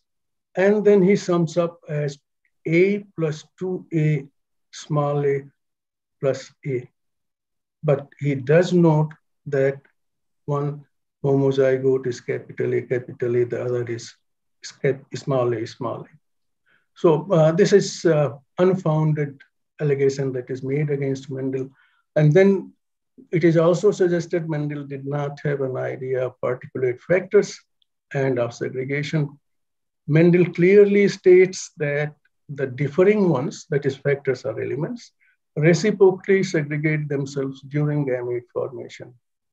And Van Dijk et al. Um, agree with uh, or interpret this to mean that his prescient deduction of paired elements uh, to break up their association and separate into different daughter cells is what makes him the founder of genetics. my uh, thought is that uh, when we read Mendel, we should read him carefully and interpret him in the context of mid 19th century and not in the light of the current knowledge. Um, many small issues um, like translation of Mendel's paper seem to have contributed to the controversy. There are three English translations of Mendel's paper. Fisher and most of us have used the Druery-Bateson translation, which is suggested to have serious flaws. And Fairbanks and Abbott, um, who have who have published the recent most translation of Mendel's paper in 2016 in Genetics, they suggest that some aspects of Mendel-Fisher controversy may be attributed to this translation. Uh, scientists like Franklin suggest that Aldo Fisher concluded that the data, uh, most, uh, if not all, of the experiments have been falsified, uh, Fisher was generous to Mendel because he praised Mendel for publishing experimental researches conclusive in the results, faultlessly lucid in presentation, and vital to the understanding of not only one problem of current interest, but of many. But sir, if you shower on a person rose petals and mud, the mud sticks. And just as broken windows attract antisocial elements in the neighborhood, mud attracts filth. The statistical criticism has triggered a free fall, leading to suggestions that Mendel failed to articulate segregation. He had no clear idea of particulate inheritance, that he does not deserve to be recognized as father of genetics, that he was one of the great fakes of science, and said uh, he suggested to be one of the betrayers of the truth. Uh, also, um, mud diverts the attention to other things. Mendel is generally not credited for the idea of gene interaction that he has suggested for flower color in Phaseolus. Mendel had offered a genetic explanation for replacement of the non-recurrent parent genome by that of the recurrent parent in a backcross program uh, that is species transformation. And sometimes even the seeds of gene, gene concept are not credited to Mendel. The Ellis et al. have concluded that the statistical criticism of Mendel's data has been pernicious feature of the discussions of his work and has done great damage to the reputation of one of history's most insightful biological scientists. But on a close examination, the claims against Mendel appear to be false in their own terms. As Ghalib said, Besabab hua dushman apna, dushman asma apna.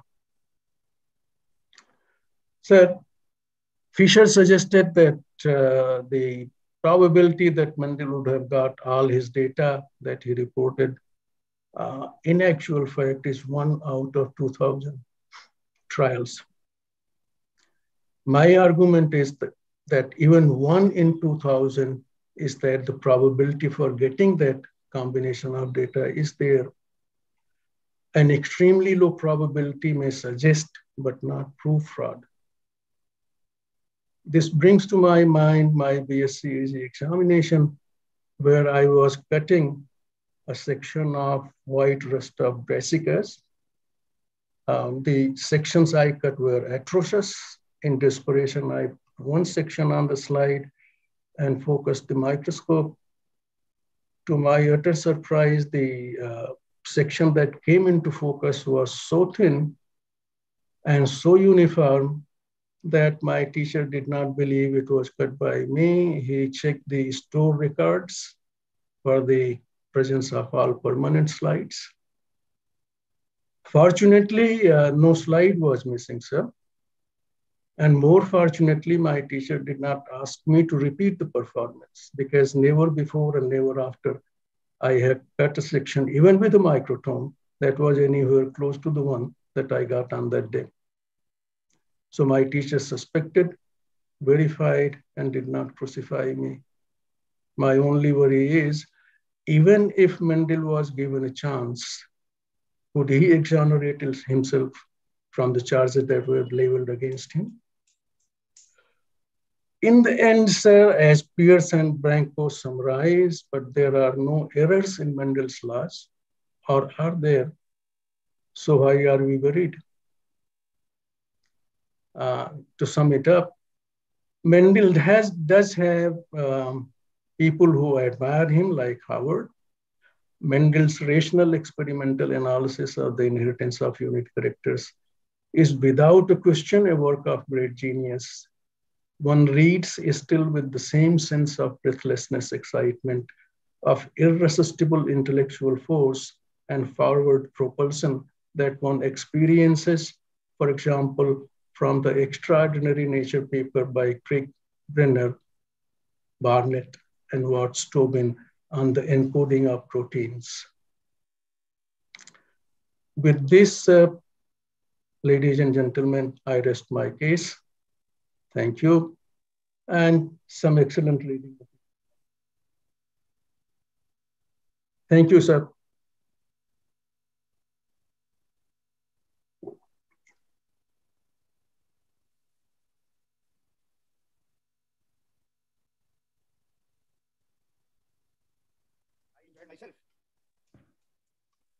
Enjoyed myself listening to this important presentation because Dr. B.D. Singh has done a thorough study the way Mendel's work has been criticized or appreciated.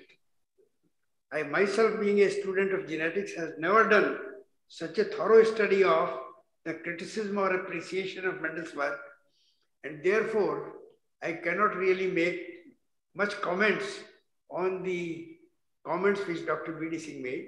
But if you have any question, I will talk a little bit about it in my presentation tomorrow. Therefore, I don't want to talk any details right now. But if you have any question for Dr. B.D. Singh. Yes.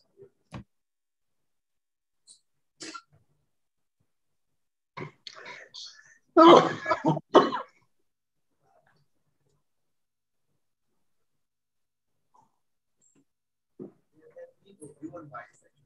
Please, a bit loud, yeah.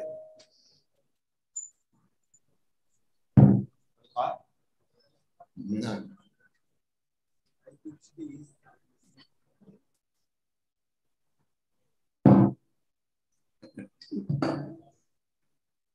See, after listening such a wonderful lecture, my curiosity goes that there has been a human bias for criticizing Mendel for such a example.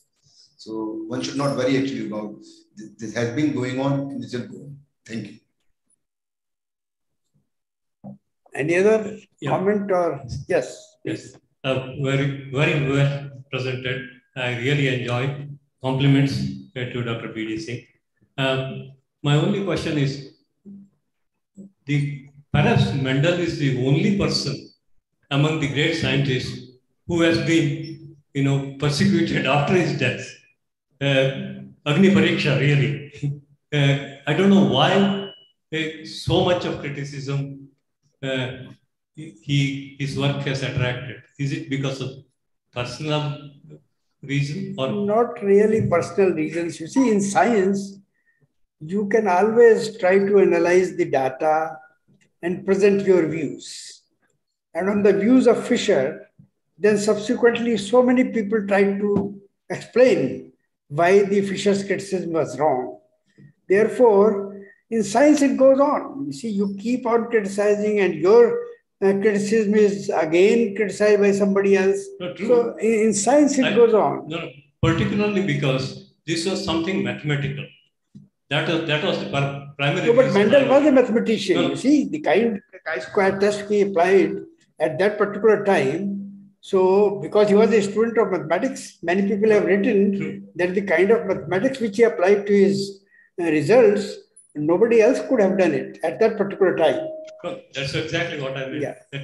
Because it was mathematical data, it could be re. He was more a mathematician and physics student than a biologist, actually. That's why Uh, the yeah. results could be reanalyzed. No, no, I, you see, actually, I also feel that he never falsified his results. The possibility of getting those ratios perhaps exists, but you can always keep on keep on arguing that his assistant perhaps manipulated the data because they knew too well what Mendel was expecting. That is what, what. But at, the at the site of it, if you'll see, see the ratios, chi-square ratio, 99% probability of every trait out of the seven traits, that sometimes looks uh, very, very difficult to get. But I think, I two think points. we are celebrating, we are celebrating 200th birthday of Mendel just because his work revolutionized genetics and, Sir. and led to so much. May I, may I make two points, sir? Yes, please. BD Singh. Um, Yes, please. the first point, the first point is uh, that somehow every time Mendel is celebrated, the controversy gets stronger around that period of time. Like first centenary of his paper publication, then uh, first centenary of his birthday, one and 150th cent- uh, anniversary of his paper, and now also there are spate of research papers around the controversy. And the second point is that Fisher was a person who appreciated Mendel, criticized him, and even damned him, damned him for dishonesty. Yes, So when he suggested, when he suggested that Mendel first theoretical uh, inheritance principles worked out and then demonstrated by uh, uh, carrying out experiments, he was calling Mendel, Mendel a liar because Mendel did not report this. Mendel said that he uh, did, did the experiment and then worked out the. So the same person praising, criticizing, and damning Mendel.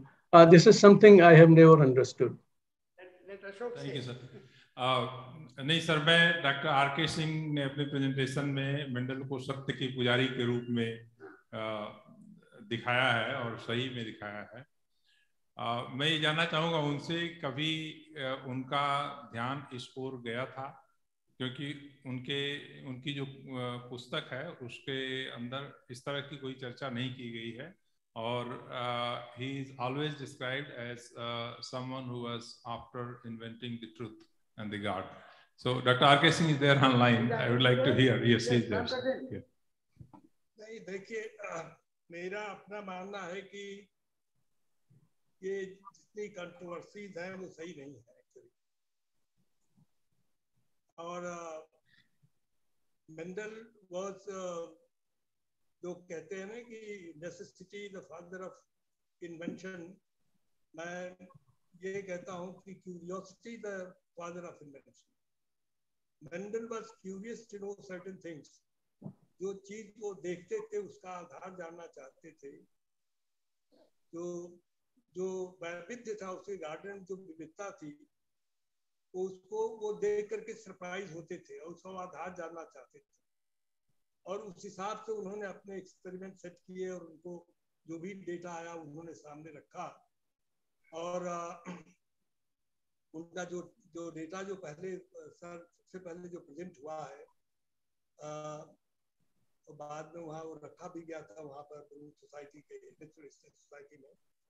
इस तरह की कोई बात नहीं थी। ये तो बाद में देखिए, ये न जाने इसलिए कि फादर ऑफ़ जेनेटिक्स कौन हो, अब इसके लिए लड़ाई शुरू हो गई और सब अपने अपने तरीके से उनको नीचे गिराने लगे, वो बात गलत है। लेकिन मैं जहाँ तक मैं वहाँ विज़िट भी किया हूँ, हमारे जो गाइड थे वो भी वहाँ गए हुए थे और बहुत इस पर चर्चा हुई है। ऐसा किसी, कोई उनके एक्सपेरिमेंट्स के ऊपर कोई डाउट नहीं है और ये बिल्कुल गलत है कहना कि उन्होंने डेटा मैनिपुलेट किया और मैं अपने उसके अनुसार से बनाया, ऐसा कुछ नहीं था वो। अब ये हो सकता है जैसे संजोग की बात है, कुछ कैरेक्टर्स में बहुत सही रेशियोज आए उसमें कुछ डेविएशंस भी आए हुए हैं, उन्होंने सारे डेटा दिया, जिसमें जो डेविएशंस भी आए उसको भी उन्होंने प्रस्तुत किया है। तो ये सब चीज़ें, बातें, कहना वो सही नहीं है तो वो है नहीं, उसको सिद्ध करने के लिए। और ये तरह तरह की मैथमेटिक्स एप्लीकेशन भाई, उस समय तो ये सब था नहीं। जिसको अप्लाई करते और बताते कि ये ये मैथमेटिकल फॉर्मुलेशन उस पर सही उतरते हैं नहीं उतरते हैं। अब बाद में आप लगाइए, उस पर लगे या ना लगे, ये आप जाने। लेकिन इस तरह की बातें कहना कि उन्होंने मैनिपुलेट किया डेटा को और पहले उन्होंने पहले से ही रिज़ल्ट सोच लिया था उसके अनुसार से डेटा तैयार किया ये सब गलत है इसके बारे में तो मेरी जितनी भी जानकारी है या जितना भी डिस्कशन हुआ है जर्मनी में जो उनके जानने वाले लोग हैं कभी इस तरह की बात नहीं आई कि मेंडल ने ऐसा कुछ किया है ये गलत है इसमें से Thank you, Dr. Ramkatan Singh. I, I agree with Dr. Ramkatan Singh, but I will make some comments in my presentation tomorrow. I don't want to make those comments right now. So thank, thank, thank you very much, both the speakers, excellent presentations. And now I pass on to the co-chair for the next two presentations.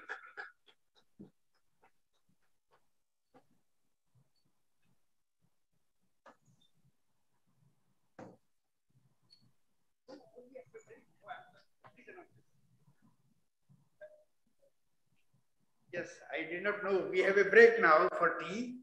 For tea? Yeah. And we return what time? 15 minutes break? 15 minutes break for tea and we return at 3 o'clock or 2.45? 3.45. 3.45, 10 minutes only.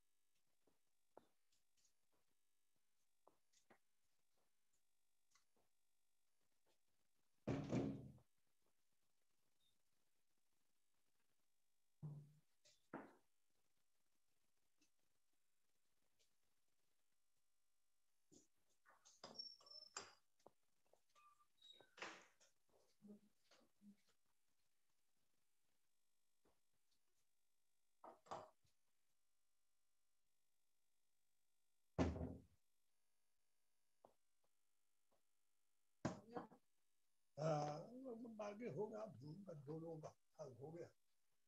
मैं थोड़ा rest करना चाहता हूँ।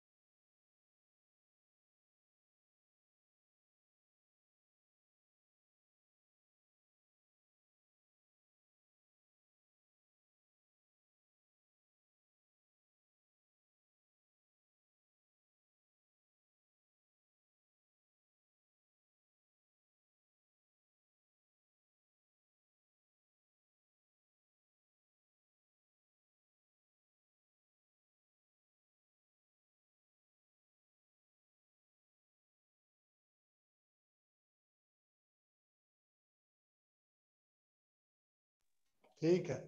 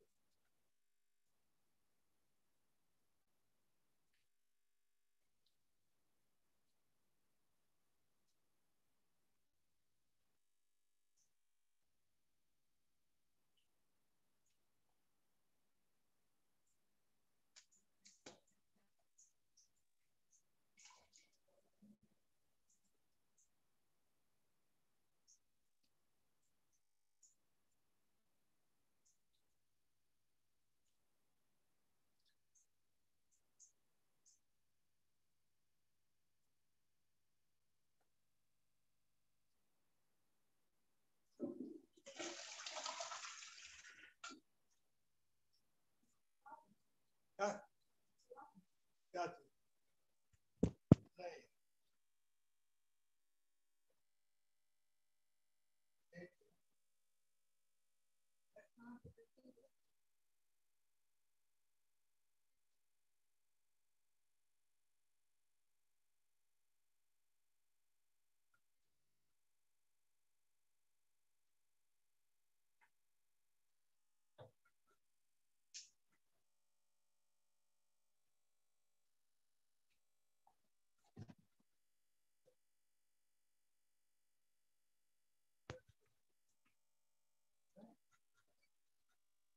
Hare Rama. Hare Rama.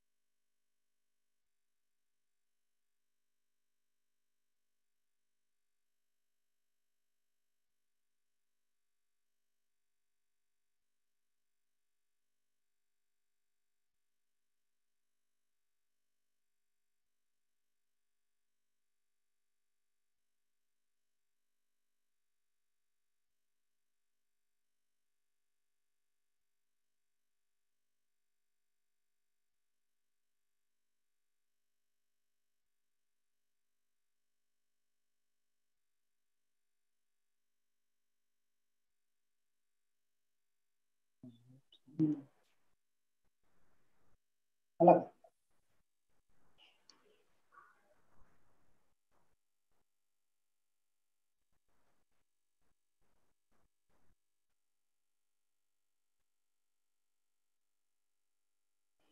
या पूर्ण घेऊन टाक ना अगोदर याच्यावर येत होता अगोदर आवाज़ लिओ होऊन पुन्हा रिपीट जॉईन करतो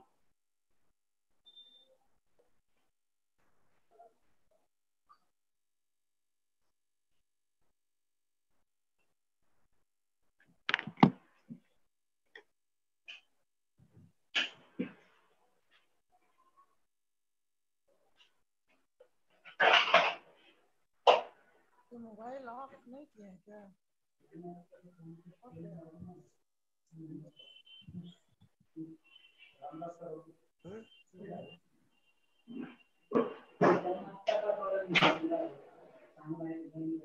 बहुत सारा ये वर्तमान हो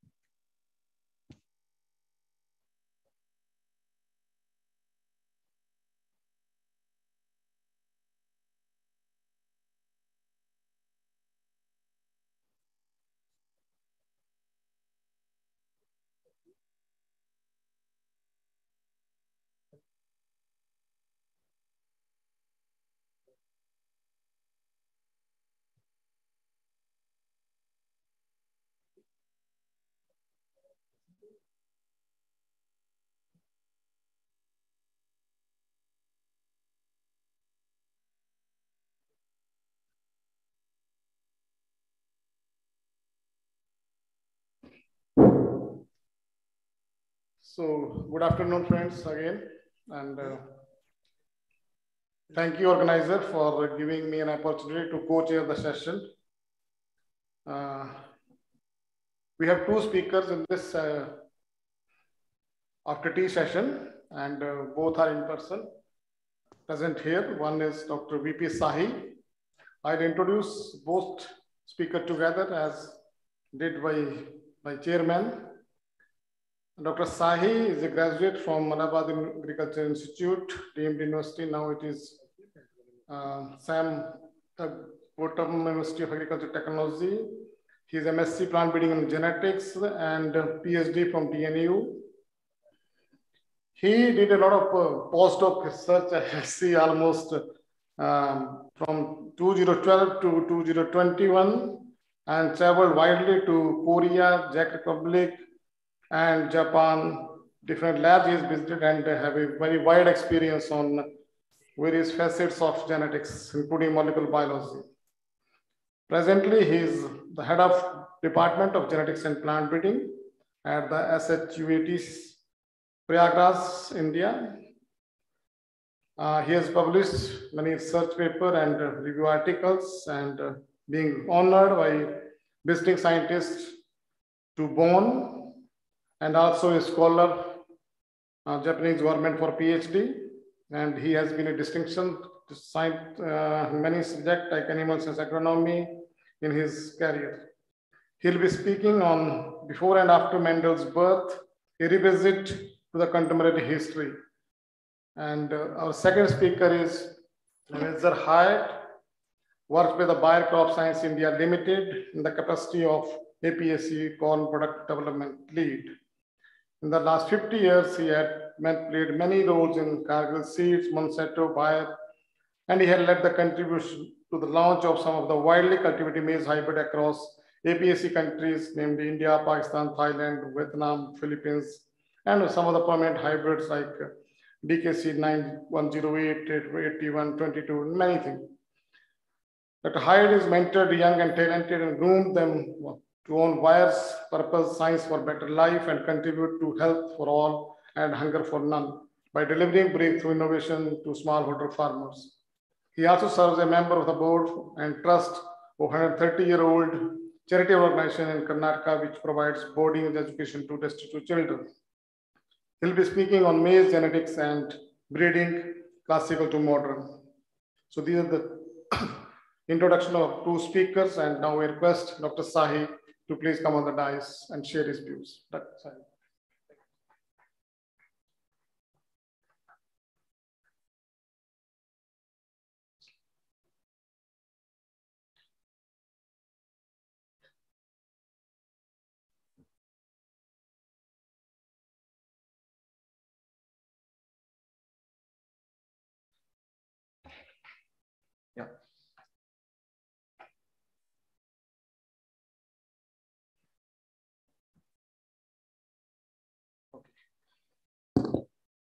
Very good evening to everyone.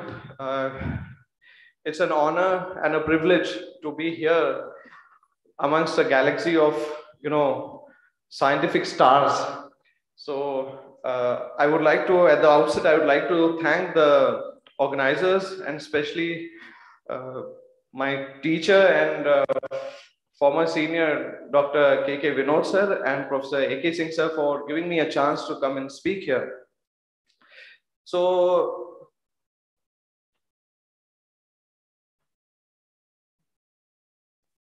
why is it not in presentation mode?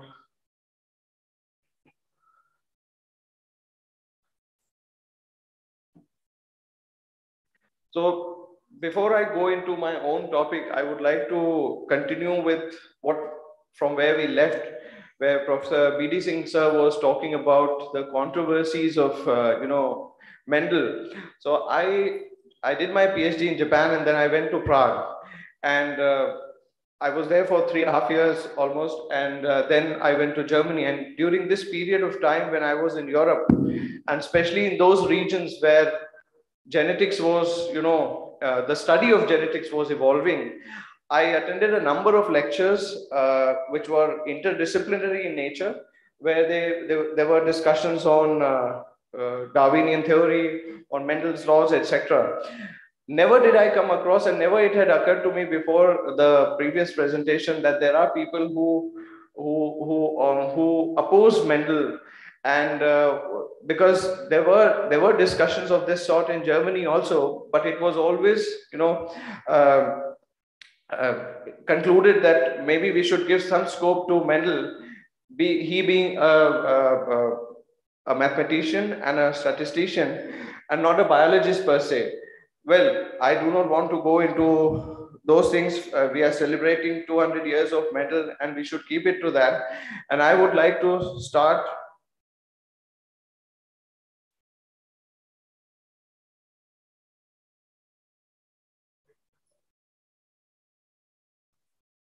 So the, the title of the symposium is Tending Mendel's Garden for a Perpetual and Bountiful Harvest. I would like to show you Mendel's garden, how it is today.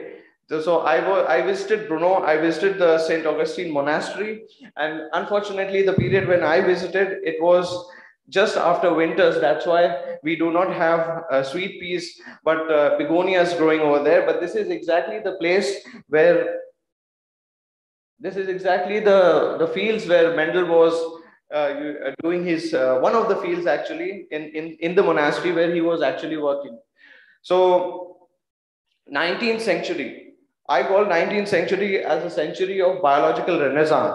The reason being we have the 19th century has seen a lot of uh, theories, what we know of today, were developed or uh, evolved during uh, the, the, the 19th century. And two most important uh, people whom we see here, one being Darwin and the other being uh, Reverend Father uh, Gregor Johann Mendel, both of them uh, were there in the 19th century. You? So Darwin published his Origin of Species and Mendel published his book called Versuche über Pflanzen Hybriden. It was actually not a book, but a paper which was read in Brno at the National History Museum and rightly said by Professor B.D. Singh, uh, the German uh, word Versuche is sometimes mistaken for, you know, search or other things, but it is actually um, uh, experiments. And uh, Uber translates to on, and it was not plant hybridization, but plant hybrids. Hybriden is hybrids. So this is something which uh, this is a little bit of German for you. So uh, people have many a times mistaken uh, this title as uh, and wrongly translated. And why I'm talking about translation and importance of translation is because in the previous talk we discussed how translation can be misleading sometimes. So uh, as I said, Mendel read his um, uh, paper on the on two days actually during the uh, um, uh, during the proceedings at the National uh, Society of Brno. one was on the 8th of February and the other was on the 8th of March 1865. Here's a small timeline which I made which is related to plant breeding actually. So the story of plant breeding, and I end it to, uh, um, I start uh, to the um, uh, uh biblionic uh, period where people, where there are archaeological, you know, um, uh, evidences which, which, which provide us the knowledge that the Babylonians knew about uh, sexes in date palms, for example. This was also known, the, the sexuality of date palm was also known by the Greek philosophers. And uh, one interesting reference while, while uh, preparing for this presentation I came was about Charak. In, I do not know Sanskrit, so I, I cannot vouch for it. This is from an English translation which says that Charak was, Charak knew about acquired characters and i would end it there because i don't want to get into the details of it because i have not read the original text and i cannot i cannot vouch for it. So but definitely there's a reference about it. Then comes rudolf jacob kammerer who was called. He was the first person to to have actually uh, uh, uh, differentiated between the sexes in the plants.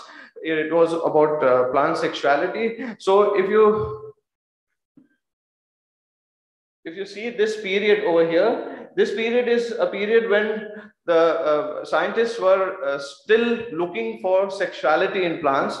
Then comes a period where they go for hybridization. This is followed by Mendel's, uh, you know, uh, work, and further the discovery of uh, Mendel's laws by in, in 1900.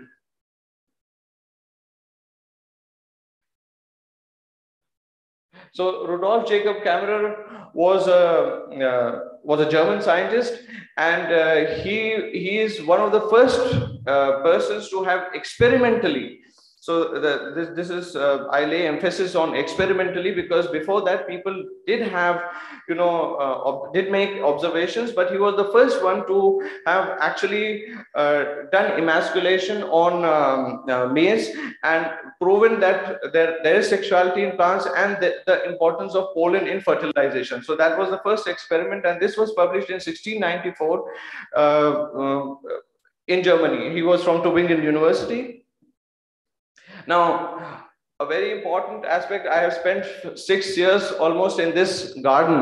Now, it's not because I have spent six years in this garden that I'm showing a picture of this garden. The reason I'm showing, showing this picture of this botanical garden is because this is where Joseph Kölreuter was working. Joseph Kölreuter, it is very surprising. I, I get surprised that um, whether it was uh,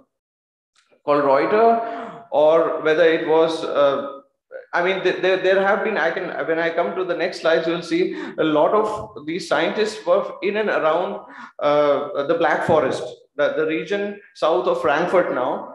And uh, this is exactly where uh, Reuter was uh, doing his uh, experiments.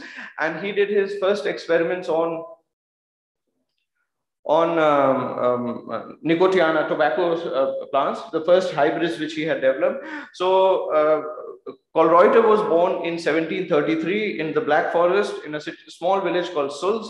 And he went to uh, Russia to study and he was appointed also as a professor in St. Petersburg.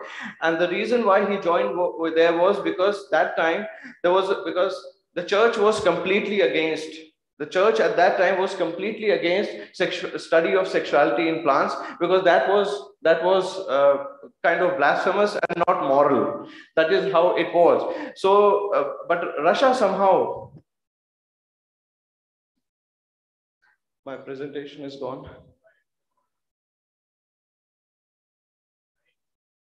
So Ru- Ru- Russia uh, was moving into more of science and there was a competition about uh, finding out if, if sexuality existed in plants. And Kol- Kölreuter won that prize and that probably started the idea of genetics and plant hybrid if not genetics at least for plant hybridization experiments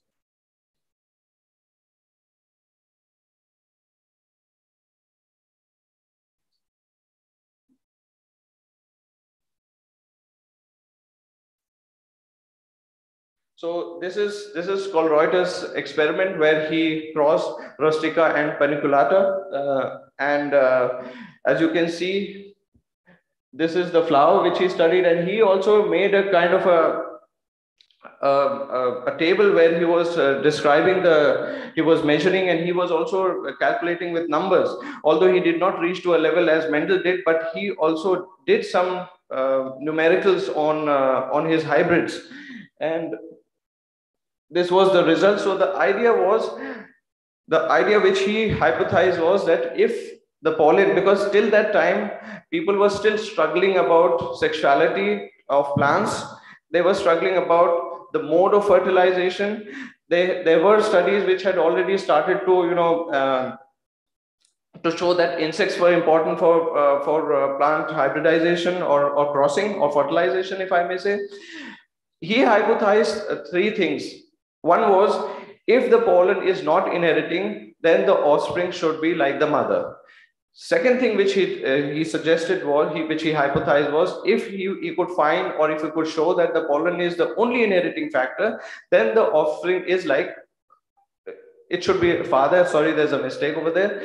And if there is a mixing of the sexes that that means if there is fertilization happening like animals in plants then the offspring is in between. And this is exactly what happened when he crossed uh, nicotiana rustica and uh, nicotiana paniculata. And as you can see the the the hybrid is in between the two parents.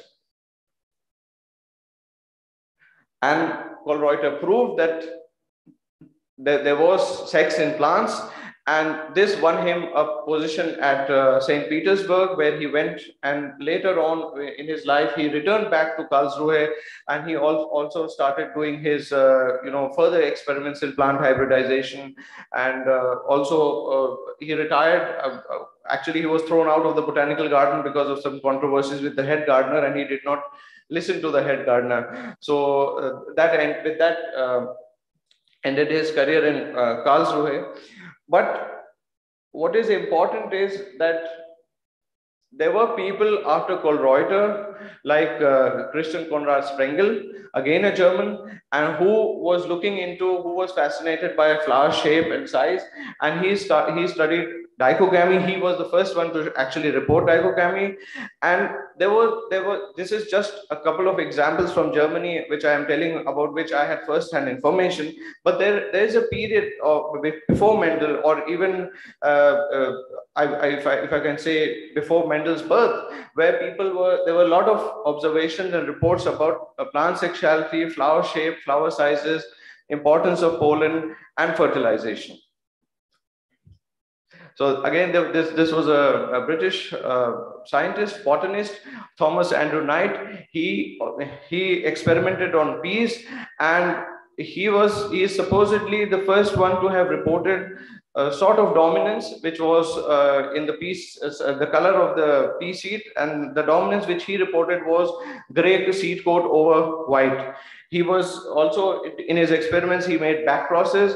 And in his experiments, he concluded about something which we call today as dominance. He was calling it as uh, giving a name of superiority. Uh, Seton Goss, Seton, uh, Dr. Uh, Professor R.K. Singh sir was uh, uh, citing Seton in, in the flowers. Uh, and Seton, Goss, and Knight were predecessors of Mendel, and they simultaneously, it is, it is, a, uh, it is quite surprising that uh, all three of them reported their findings in the transactions of the Horticultural Society of London in 1824. And all of them, all three of them worked on segregation and uh, they of course they did their experiments and their conclusions were reported at, uh, they found the reports or they made the reports in different dates but it was published in the same journal that was the horticultural society of london in 1824 this period led to a lot of uh, you know innovations in uh, uh, plant uh, plant hybrid uh, production of plant hybrids. And flowers were one of the most fascinating things which these uh, scientists were working on. One example being of william herbert another english botanist who did a lot of work on crossing flowers to develop new varieties. One of the reasons why uh, why uh, flowers were more in demand and why flowers were uh, so became so important for these people was at that time Europe was ruled by royalty. There were royal families, and every gardener would be very excited. Or a gardener those days were not like you know those gardeners had botanical knowledge, and they would you know, present these uh, new hybrids, new color combination uh, flowers to the queen or the king, and that would give them some award. So that was also the background of uh, these uh, this this uh, development of hybrids and new new new flower types.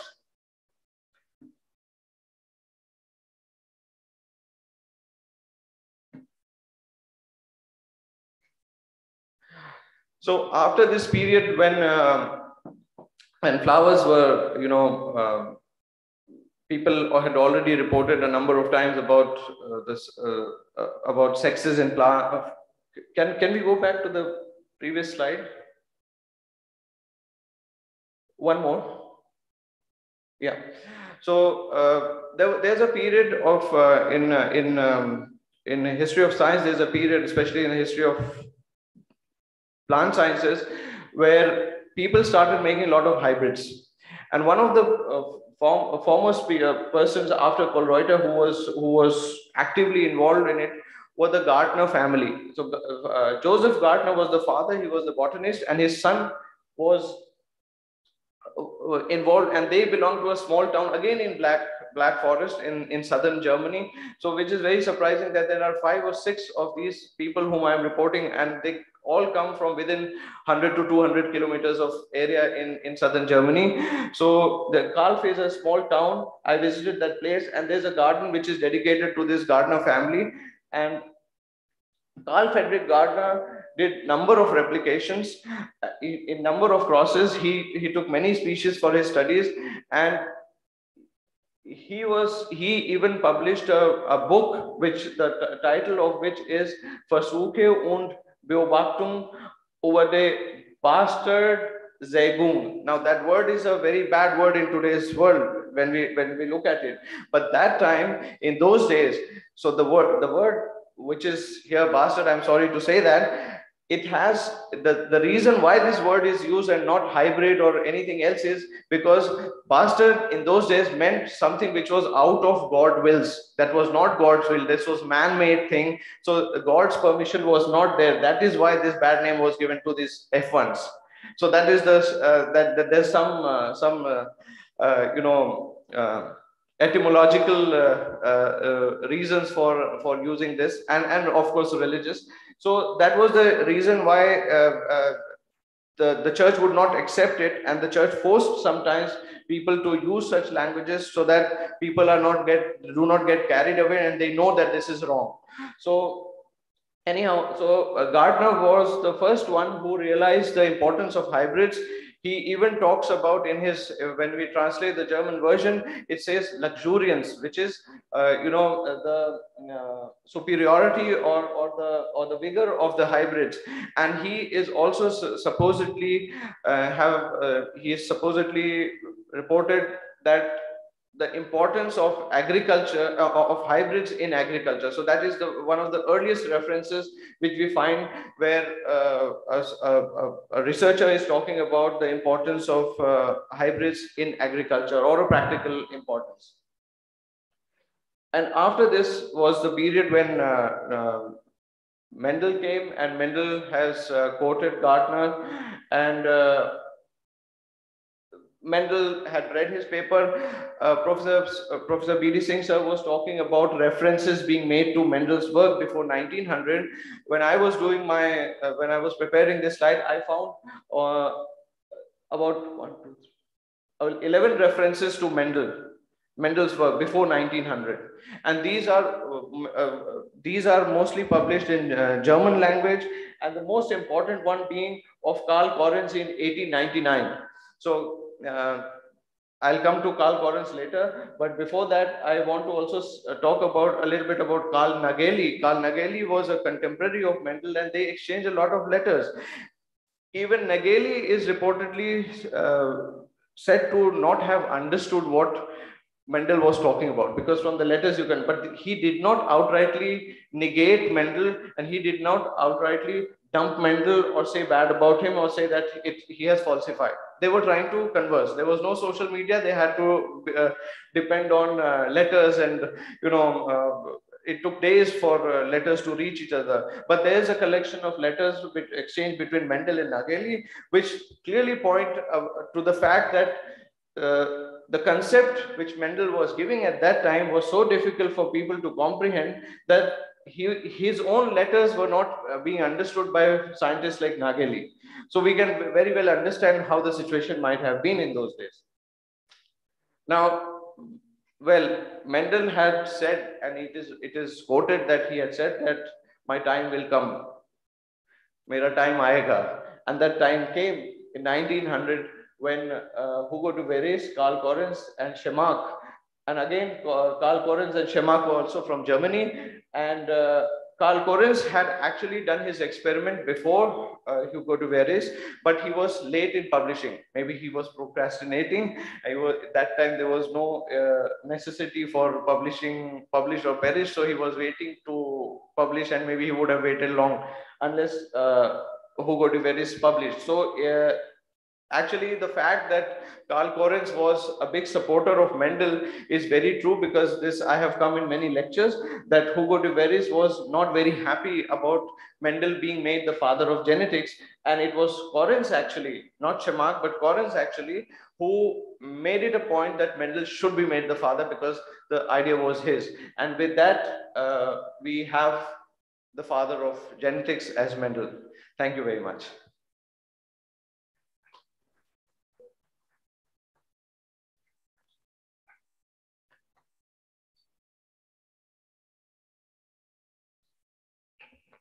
Thank you. Sahi. And uh, please take your seat and maybe we'll take questions at the end of the second presentation.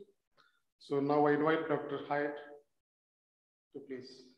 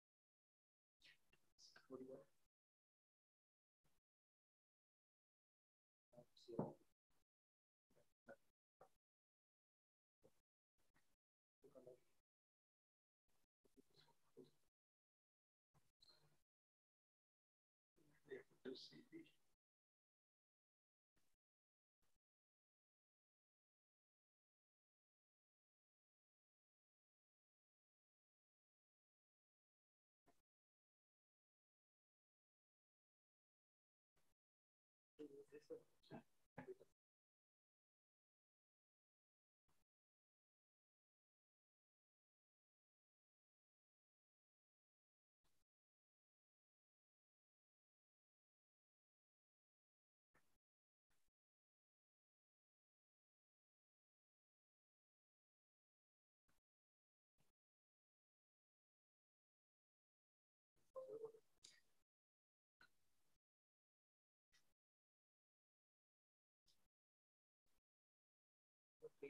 Oh,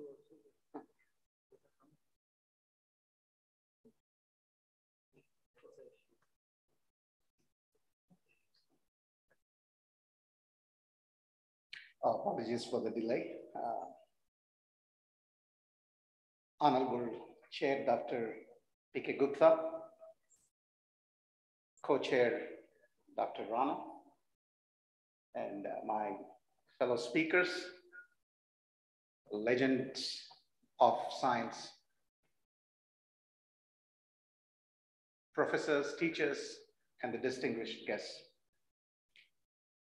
I bring good evening and greetings from Bayer Crop Science. And I'm here to take, share about the Bayer's purpose for agriculture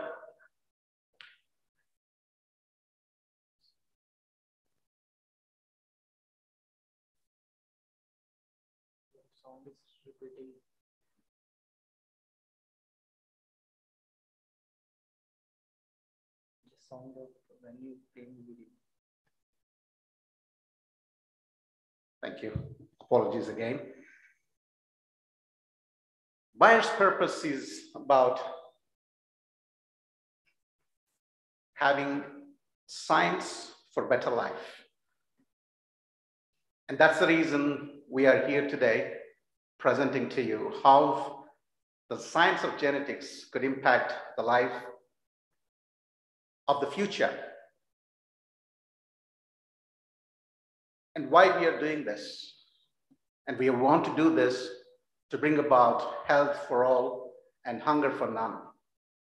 And why hunger for none?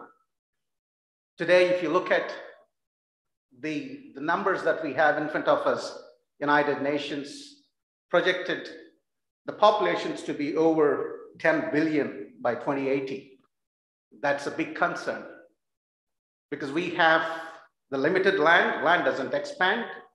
We have global warming impacting the environment, glaciers are melting, the sea levels are rising, and therefore forcing us to deliver more with less, which means we need to bring more efficiency in our day-to-day work life so that we will bring more food with the limited resources that we have.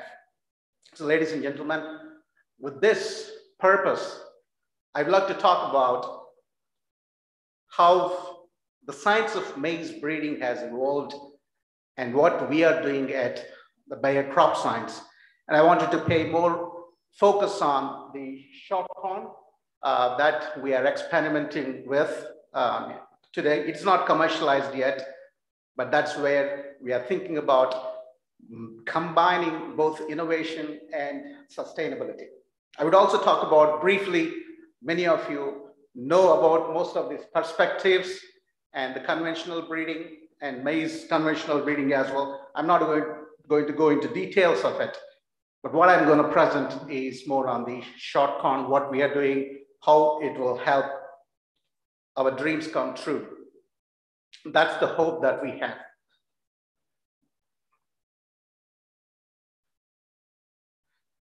If you look at the global scenarios today and the food that we eat today, it has not just come on its own.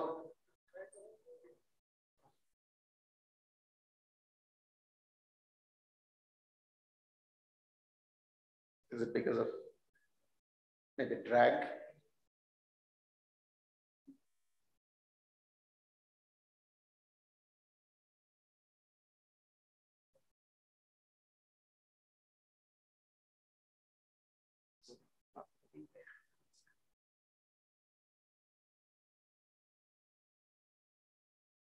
This one, yeah. So that strong. Go to desktop. Screen. Whenever you using YouTube, just change your screen from here.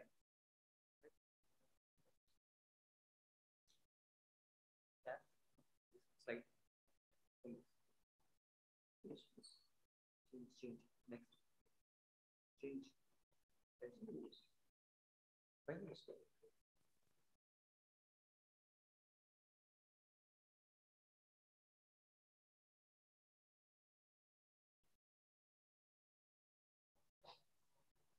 Sorry for that uh, inconvenience. Today, again, when we look at the food that we eat, it comes from years of the sweat and blood that the scientists and scientific community has shed in order to give us the food that we eat. I'm not going to go into details of this, but I'm not an expert in the watermelons, nor am I expert in mustard.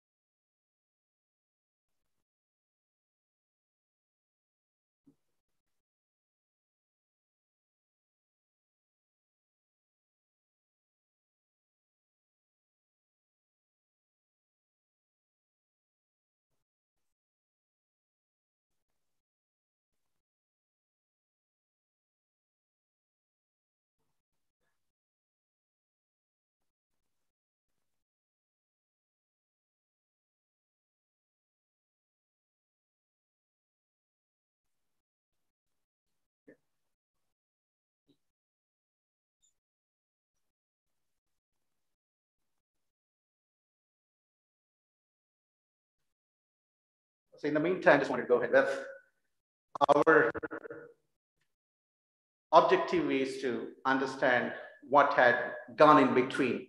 You know, 350 years of experiments and improvement, evolvement in watermelons. Today we can enjoy seedless watermelons from the less pulp that is there 350 years ago. And similarly, we have in corn, we have in um, you know, other crops, I just gave an example of uh, the mustard there and how the brassicas have come up.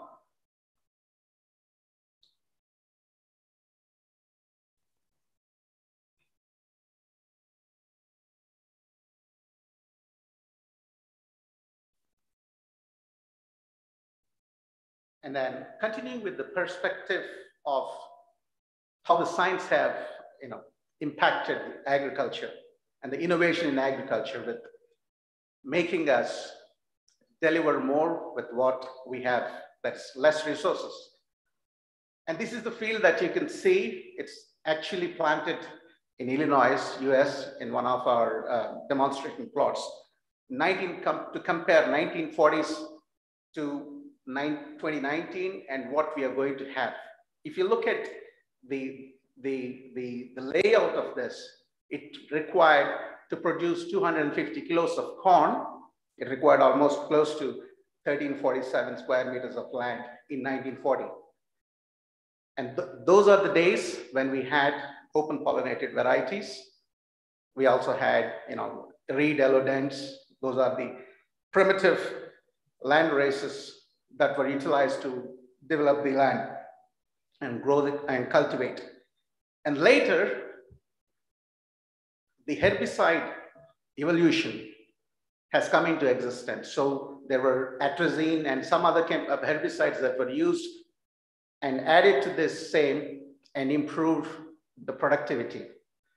And if you look at in 2000, that was the era of uh, the trait, the biotic trait that was launched in the US, that is Roundup Ready. So herbicide that will kill all the weeds and well, but the crop will remain intact and therefore impacting the yield.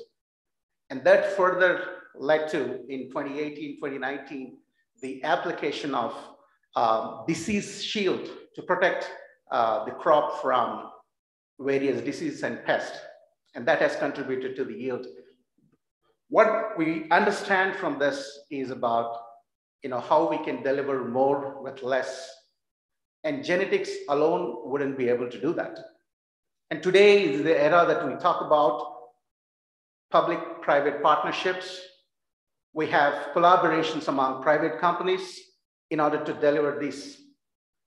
Bayer itself has collaborations with various companies across the globe in order to constantly innovate new, way, new ways of uh, making agriculture more efficient and deliver more for the future. So that's the lesson that we learn from here.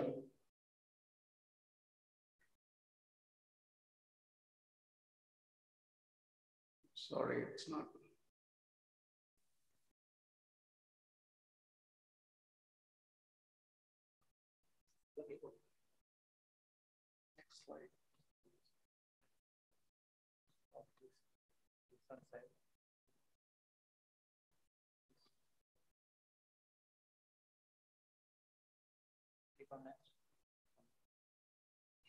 Yeah. Like as I was listening to the, the conversations around the previous presenters, uh, the several lessons that flashed into my mind.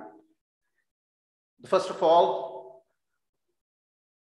had Sir Gregor Johann Mendel not paid attention to the minute details of that round and wrinkled seed and the seed coat, today we wouldn't have been exploring all those details, which means the lesson that I learned was that we need to pay details to the minor things that we see in our day-to-day -day work of life as scientists.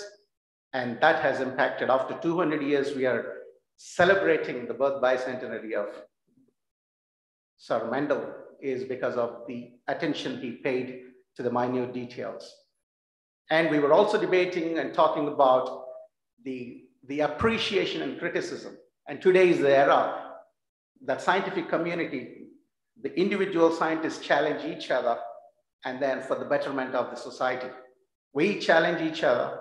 It's a constructive criticism and it is good to have if it is a healthy, and then that gives us opportunities to deliver more, innovate more, and uh, be more successful in our deliverables.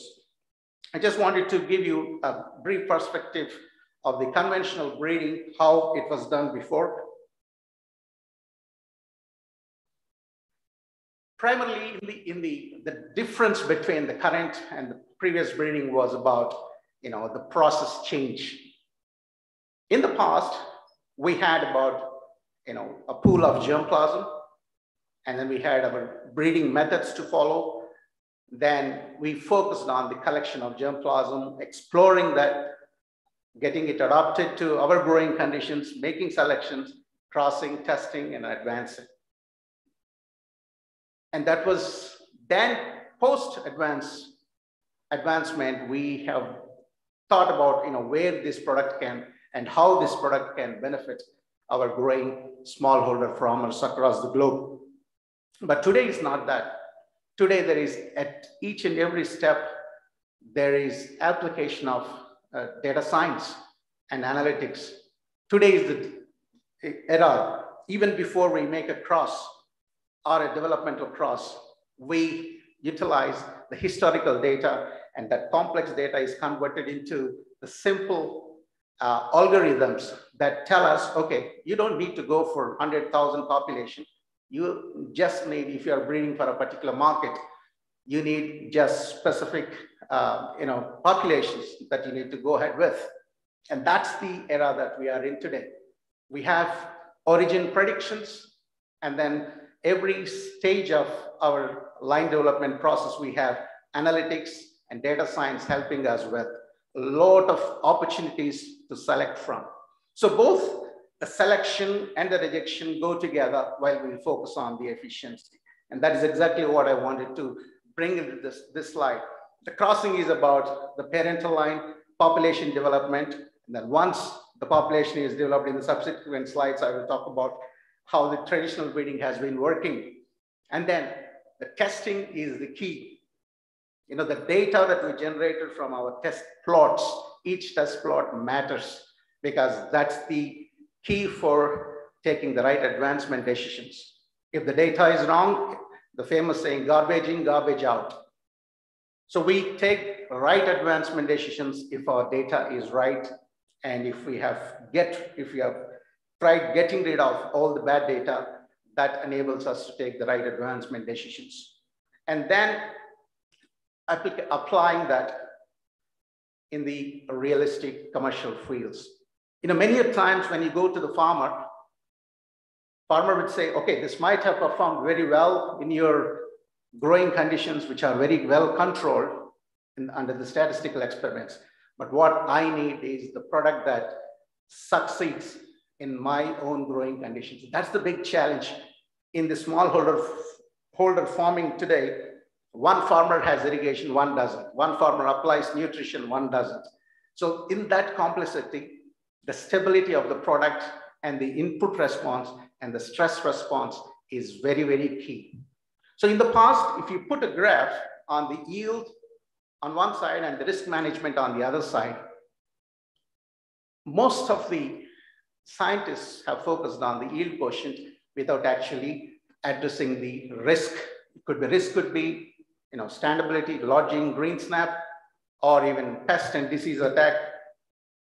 But now the time has come that we take a cumulative approach, a comprehensive approach of putting, gaining the yields year after year through the technology, and then also managing the risk so that smallholder farmer in our region, Asia Pacific region, would be able to benefit, reap the benefits of the innovation that we bring into them.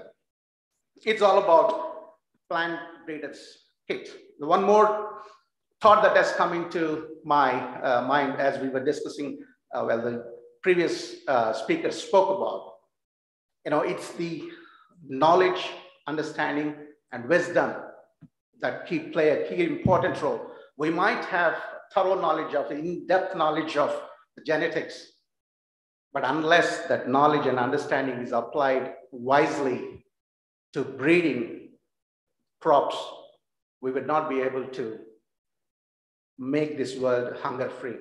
That's the big challenge that each one of us face. And that's at Bayer, we debate every day as to how we will improve the knowledge that we have gained, the data that we had developed historically over you know, many years, how do we use that? And that's why the data science has taken a different role in changing the way that we were breeding our crops. And that's very key to us. And we have used selective breeding. We have used combination of crossbreeding. Our focus though remains on the hybrid, hybrid breeding because in corn or maize that we call as commonly, the hybrids are very important. And the year after year, genetic gain plays an important role. And genetic gain, not just for yield, you know, many, many, many farmers require faster dry down. Many require, you know, tolerance to lodging. Many require tolerance to pest and diseases that we have. And that's the focus that we have. It's not just the yield alone. And that's the reason we have that, you know, team of teams concept it's not just one individual or one company, but it's together that we are going to face the world under this current circumstances and the future circumstances. Not going in depth about uh, the, uh, the origin of maize, but just to give you a you know, glimpse of how the teosinte has become the modern corn. And many of you uh, scientists, and I'm not going to spend uh, you know, time here, just to give you a glimpse that modern maize has come from the teosinte. Even today, just give you an example. If you look at the picture there here, and today, if you go to, if you develop a product and give it to the farmers, and then if farmer sees this kind of multiple years coming from the same node, it's a big complaint. You'll end up paying compensation because farmers don't want that. Because none of the the cob that has emerged from single node develops into a, a productive cob. So we have moved away from such incidences to having a modern corn with naked kernels. You know, we have the teosinte, which is more hard-coated. And then with tillers, today we don't have hybrids with more tillers. Sometimes we do get, but that becomes a complaint. So the farmer's requirement becomes the center of our breeding objectives. And uh, this is very key how we have utilized the post-domestication. You know, when human has domesticated teosinte 9,000 years ago, and then how the land races adapted to different latitude, longitudes, and different elevations and growing conditions. That has created huge diversity. And that's the reason corn is a very interesting crop to work with because the genome was very well understood from the B73 you know, background. And then we have today a clear understanding as to how and where we should be going ahead with, you know, these land races that spread across the globe. Again, just a glimpse. And these are some of the examples, just put it here, how they have adapted to different growing conditions, latitude, longitude, longitudes over the years um, as the pond has grown. Just to give another glimpse of, and to also give you the perspective of classical versus modern. In the classical breeding, as I have already called out, you know, making a biparental cross uh, as a population. Now we have the female pools and male pools, and within the female pool, if you want to develop new lines out of it, we do make the biparental cross or sometimes three ways as well, depending on the, the need of the, this market segment that we are breeding for. And now in the classical world, it was just about you know, making decisions based on the phenotypic selection. Breeder had to work morning till night, being in the field, understanding the plant, talking to the plants, and then making his own selection, his or her selection. But today we have data science helping us with the historical data analysis as to what cross needs to be made in order to make your breeding program more effective and efficient. And we don't have to spend uh, a lot of time you know, studying the or making the phenotypic selection. So we have moved away from, now we are going from genotypic to phenotypic rather than phenotypic to genotypic. That's the improvements that we are making in the modern plant breeding methods. And similarly across, now in this in a schematic diagram, you need about six to eight years you know, to make complete homozygous depending on the diversity of the parental lines. If they are more diverse, it will take more than eight years as well to stabilize, uh, to, make, to bring them to complete homozygosity. But we have now DH technology applied at the very F1 stage itself, in the second very stage. The moment you create a fund, you put it in that induce DH, and we have completely fixed lines available. And therefore, what's helping us in reducing the cycle, the crop cycle, you know, from conception to delivery to the marketplace, that is where we are heading towards. So the, the technologies that we use are helping us reduce that uh, gap and then increasing the speed to the market. So similarly, once you have at very F1 induced with DH, then we have the fixed lines and then we can make be it L into T or uh, line by line, whatever the breeding methods based on the industry's practice or companies' specific practices, we can take uh, the breeding program forward. And we know that the, the basis for all this is genetics. You know, the magnitude of heterosis determines the failure and success. If you have heterosis for yield, which is positive, but negative for the risk factors, then the product wouldn't be adopted by our farmers who are facing year after year many, many challenges. Even this year, many of the regions have not received rainfall. Some of the regions have received already floods. And these are the uncertainties our farmers have to grow crops and deliver food security to the nation. And that's the reason understanding, applying that understanding very wisely by doing the right things right way paves way for the success of the future. And just precisely speaking of the, I've already talked, touched about some of these aspects, and many of you, all of you know this, you know, how the markers, the revolution of markers has changed the world of breeding, especially in corn breeding, and with currently genome-wide selection, DH technology, and then precision breeding, and so many other tools that we have today that we can go by the precision uh, going forward. Now we have the combination of genome, genomics plus environmental component called phenomics. So when you combine genomics with phenomics, which we did not have before, now we have more precision product identification, precision product placement, and, and then bringing value to the farmers because they grow the products that we deliver to them. The phenomics is about characterizing the environment. In the past, plant breeders depended on the uh, genotypic value through you know, quantitative genetics, how genotype can be improved. But it's now, we cannot change the environment, but we have to breed the products that adapt well to the growing and changing environment because of the global warming that we have today. And that's the reason genomics and phenomics coupled with data analytics and predictive analytics is the future of uh, the plant breeding. So I've just mentioned some of these technologies. We don't have to go into details of it. So with this background, I just wanted to give you a perspective of short stature corn that the Bayer is working with. We are experimenting and we hope that short stature corn will bring and will change the modern corn production uh, in the entire globe because it's not just about innovation, but it is innovation and sustainability. Today, sustainability is the buzzword across the globe because we need to mitigate the negative consequences of global warming that we are facing today. And that's the reason we are experimenting and exploring uh, short stage corn across the globe. It's not that it is entirely new.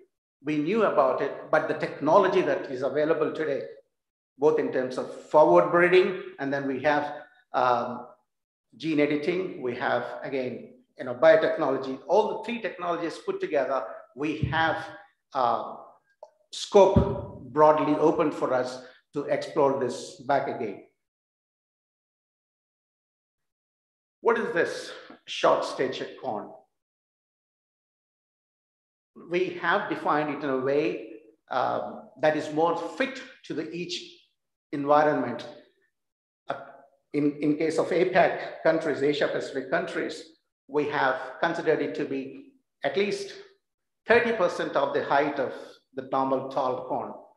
You know, if it is beyond that, then it becomes as tall as normal corn the assumptions that we have is short stature corn has very shortened internodes and therefore has thick stalks and will give better standability even when there are thunderstorms and cyclones or typhoons or hurricanes, whatever we call them.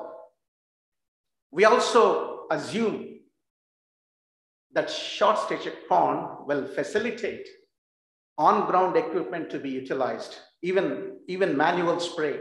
Today, once the flowering is done, for example, fall armyworm, we will not be able to spray anything once corn grows very tall because it grows nine, nine, nine, 10 feet. Farmers wouldn't be able to spray with even with the power sprayer that they have. But short stature corn will enable the farmers to apply both nutrients and chemistry even after flowering. That's the another assumption. And it is proved as well. Then we have environmental sustainability, which is the major um, objective because we need to sustain the planet that we are living in. We, we are accountable and responsible for that by reducing the carbon emission. So short corn does help in that as well. If you go to the developed countries, most of them use aeroplanes to you know, spray, and that brings a lot of carbon emission. And by introducing this short stature corn, they would be able to use their own equipment. And they don't have to use aeroplanes to spray in where they have the very large land holding. And that is, these are the, some of the aspects that we are considering that, and hope that this will change the way that we are producing crops and this will change the way that we have been growing corn. Be it nitrogen efficiency, even because of the shortened internodes, the overlapping of leaves can also create an environment where weeds will not be able to establish.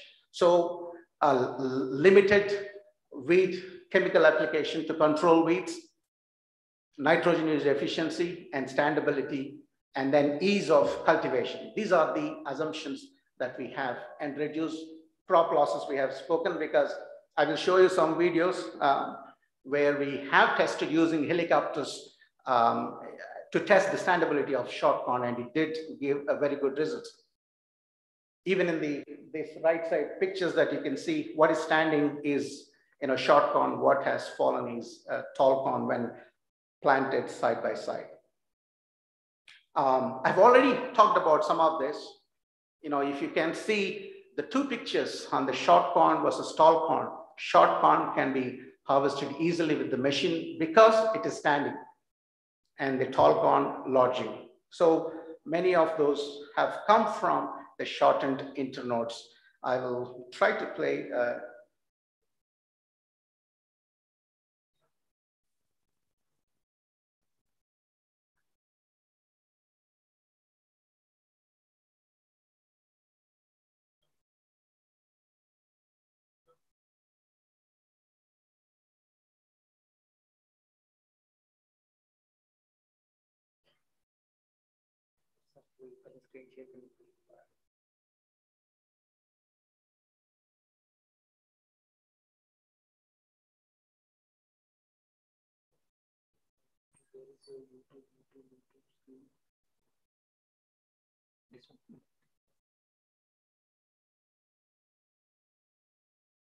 The first one?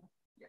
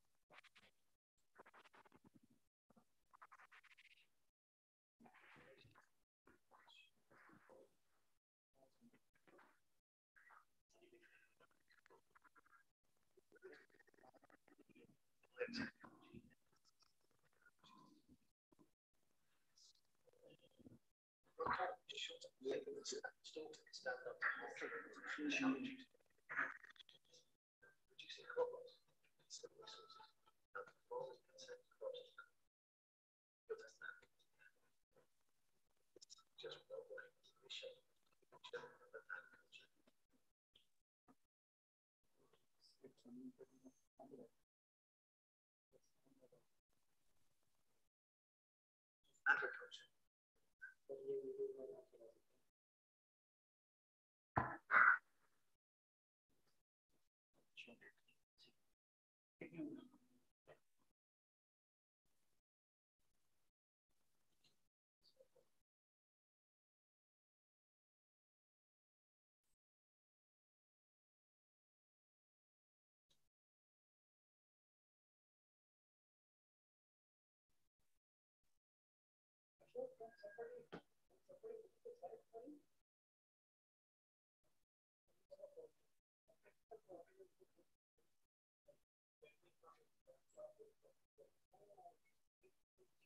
Yes. sir.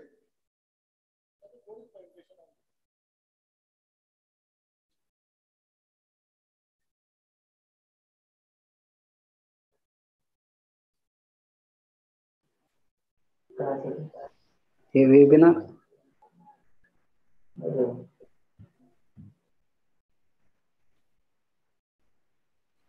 you want to share this one?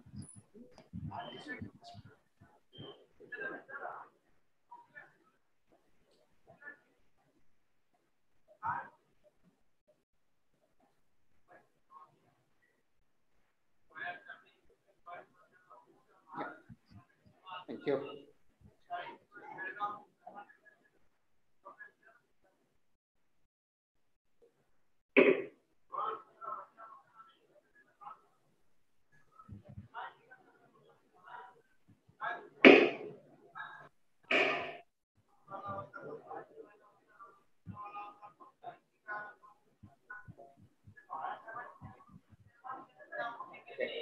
Sorry for the inconvenience there.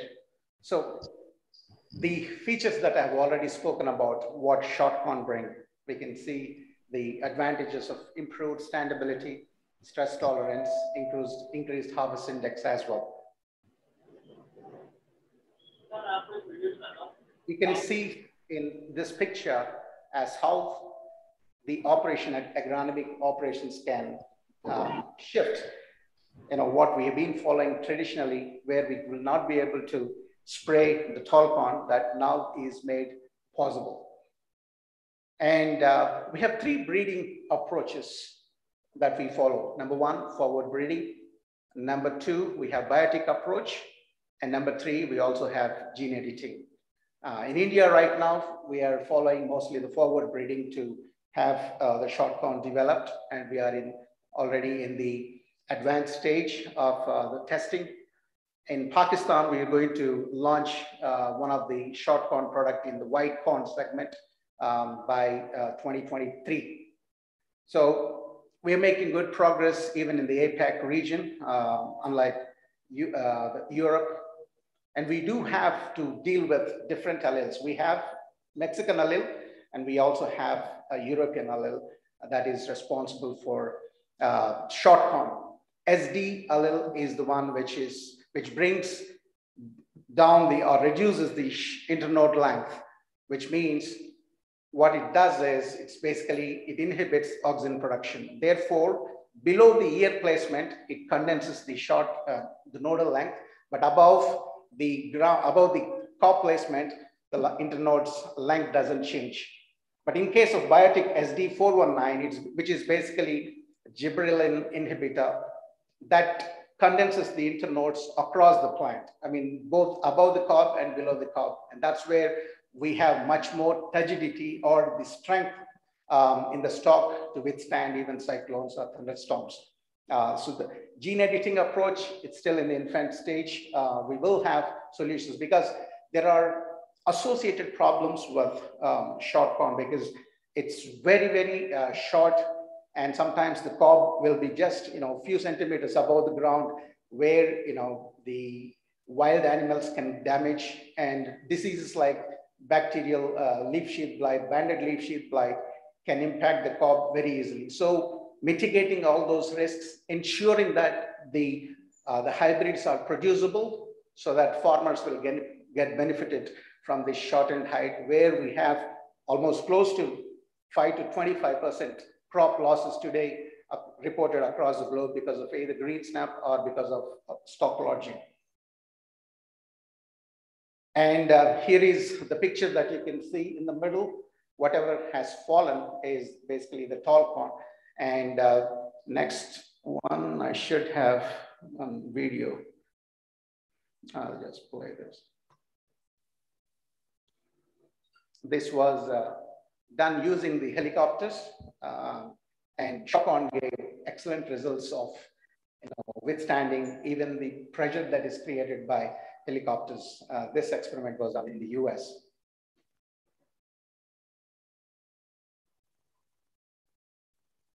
So you can also see the difference between how the conventional corn uh, behaved subject to the artificial pressure, and also we'll see the short corn, how it so we, because of the, the pressure. So this is the similar pressure that we experience you know, during the thunderstorms or cyclones or even, um, even these hurricanes.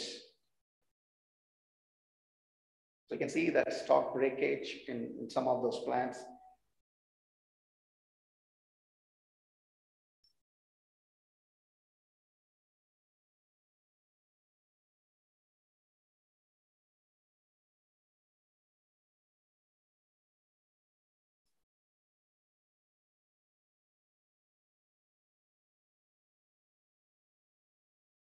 And with this, it's giving us a hope that we would be able to mitigate some of the risks that globally farmers are facing. And this is much more um, valuable in our growing conditions, especially northern part of India, Pakistan, and Philippines, where the thunderstorms or typhoons are very, very common. And uh, this can give us a, a, a value addition way forward.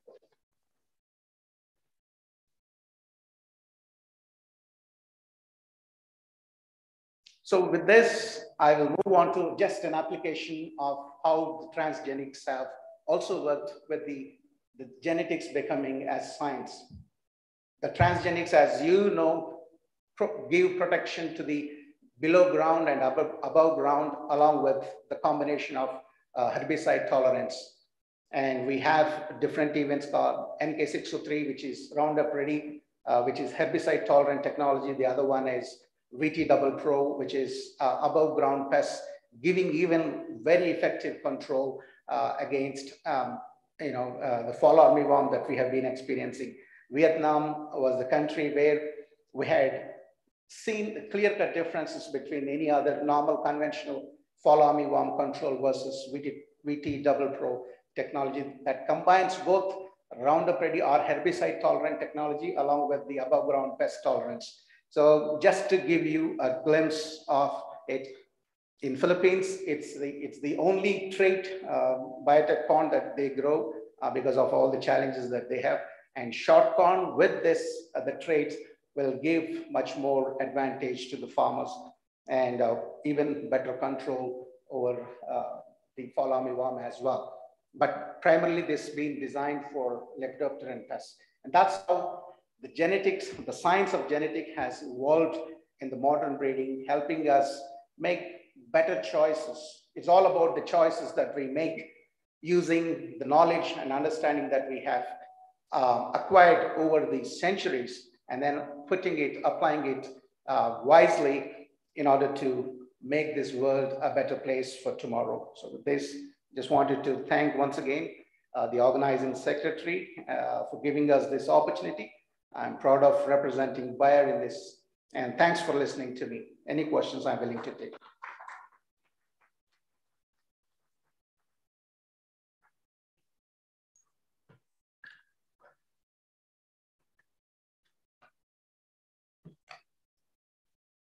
Thank you, Dr. Hyde. Uh, though we have a positive time, but still, uh, I hope there will be some question to maize journey of traditional to hybrid breeding. So, Dr. VP Singh, please.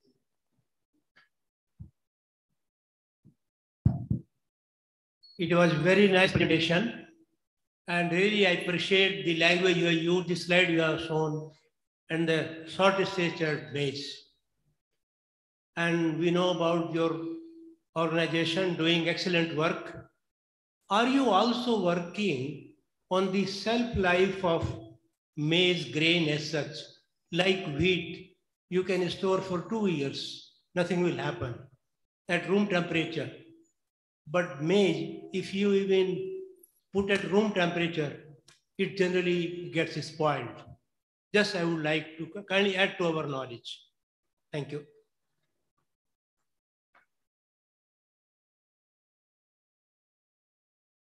Thank you, sir, for that question. Um, storability is one of the traits that has become increasingly important in the smallholder markets like uh, India and some of the Southeast Asian countries. More, many of the farmers, they store for one year. Um, some of them store, you know, cobs, some of them shell and store the grain. And uh, depending on the genetics, uh, there are there is gradual reduction in the yield when you measure after storing for a year or after even six months and two months, even discoloration and weevil infestation, all the three. So we have begun working, uh, identified that need first about four or five years ago because some of the genetics, especially when you bring and combine um, the temperate genetics with the tropical in order to give the yield punch. And that is when these issues become much more uh, relevant uh, in, the, in the breeding program. So what we are trying to do right now is identifying the haplotypes and that contribute to the, the grain quality and also trying to establish with the nutritional institutes, institutes like NIN in Hyderabad and CFTRI, and then see what grain qualities uh, are required in order to maintain the shelf life, a better shelf life. And we also have our in-house quality program because even the hybrid seed that we produce, the F1, very F1 seed, that also needs to be sold, uh, stored in the, in, the, in the cold storage. The moment you bring it out of cold storage, in case the seed doesn't get sold, also will face this problem, thereby incurring huge losses to the organization. So both at the, the production level, the seed quality or shelf life is important, and at the hybrid level, because customer or the farmer requires it, the more longer he can store, he or she can you know, sell that produce at the right time when the prices are high. So we are certainly working with that, sir. Thank you. Uh, so I, I have one question. So you, you, you said that because of the changes in the auxin, the, the stature changes. Now, this lodging which is happening is probably because of the short stature, but is there something happening in the cell wall also? Some changes like lignifications or, or, or composition of the cell wall, which might be contributing towards it, or is it, is it just because of the uh, shortness? Thank you, Dr. Sahi, for bringing that.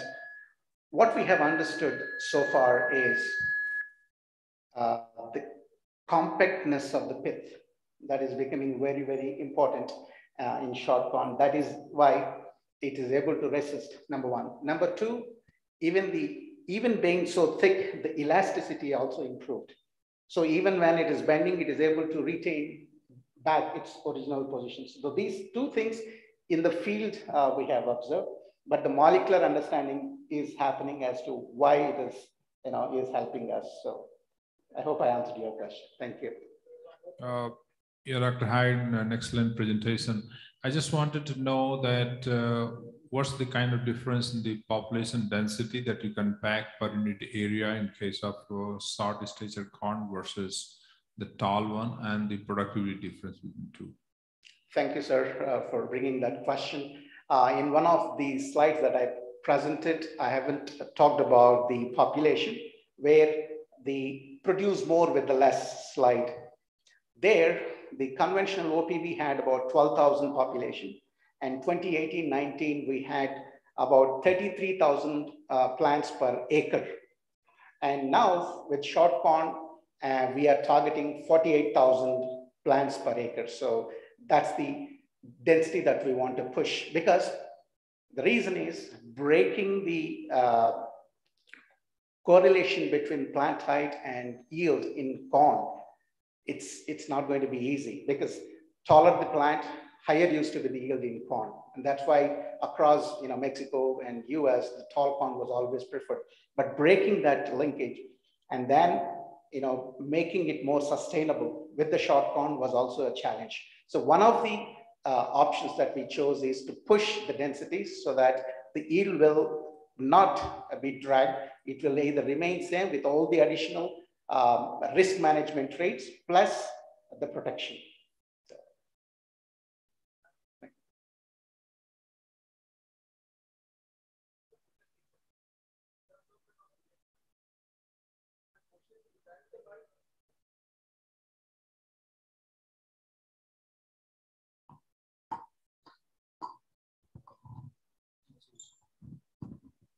Hello. Uh, yes, sir. Uh, in your presentation, you have uh, talked about DH line, sir. So my question is like uh, the future population is continuously rising, sir. So uh, if we use molecular marker techniques and molecular uh, assisted uh, MAS techniques in uh, that those lines, like one is RIL and second one is DH lines. So if we apply that techniques MAS in both the populations, then uh, which is the like ideal population we will get for the future aspects? Like which is the like ideal population for like uh, for farmers by which we get more food uh, in a short period of time. So that was my question sir. Yeah if i uh, thanks for that question. If i understood your questions correctly what would be the target population for future be it dh or be it um, ri right? Yes sir. Yeah thank you. Um, what we understood from our experience it's not about dh or any other technology. Primary, uh, the foundation that is laid by the genetic itself.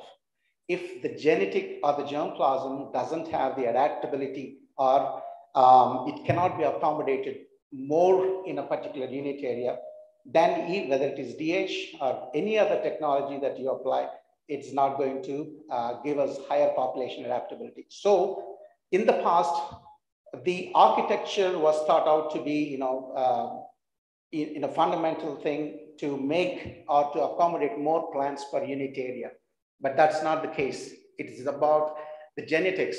See, if you look at the tropical genetics, they have broad leaves, very wide and, you know, uh, uh, drooping kind of leaves. Whereas temperate, because they are short of the, you know, uh, sunlight, and therefore they have been purposefully bred to have very erect and straight angle, um, you know, genotypes.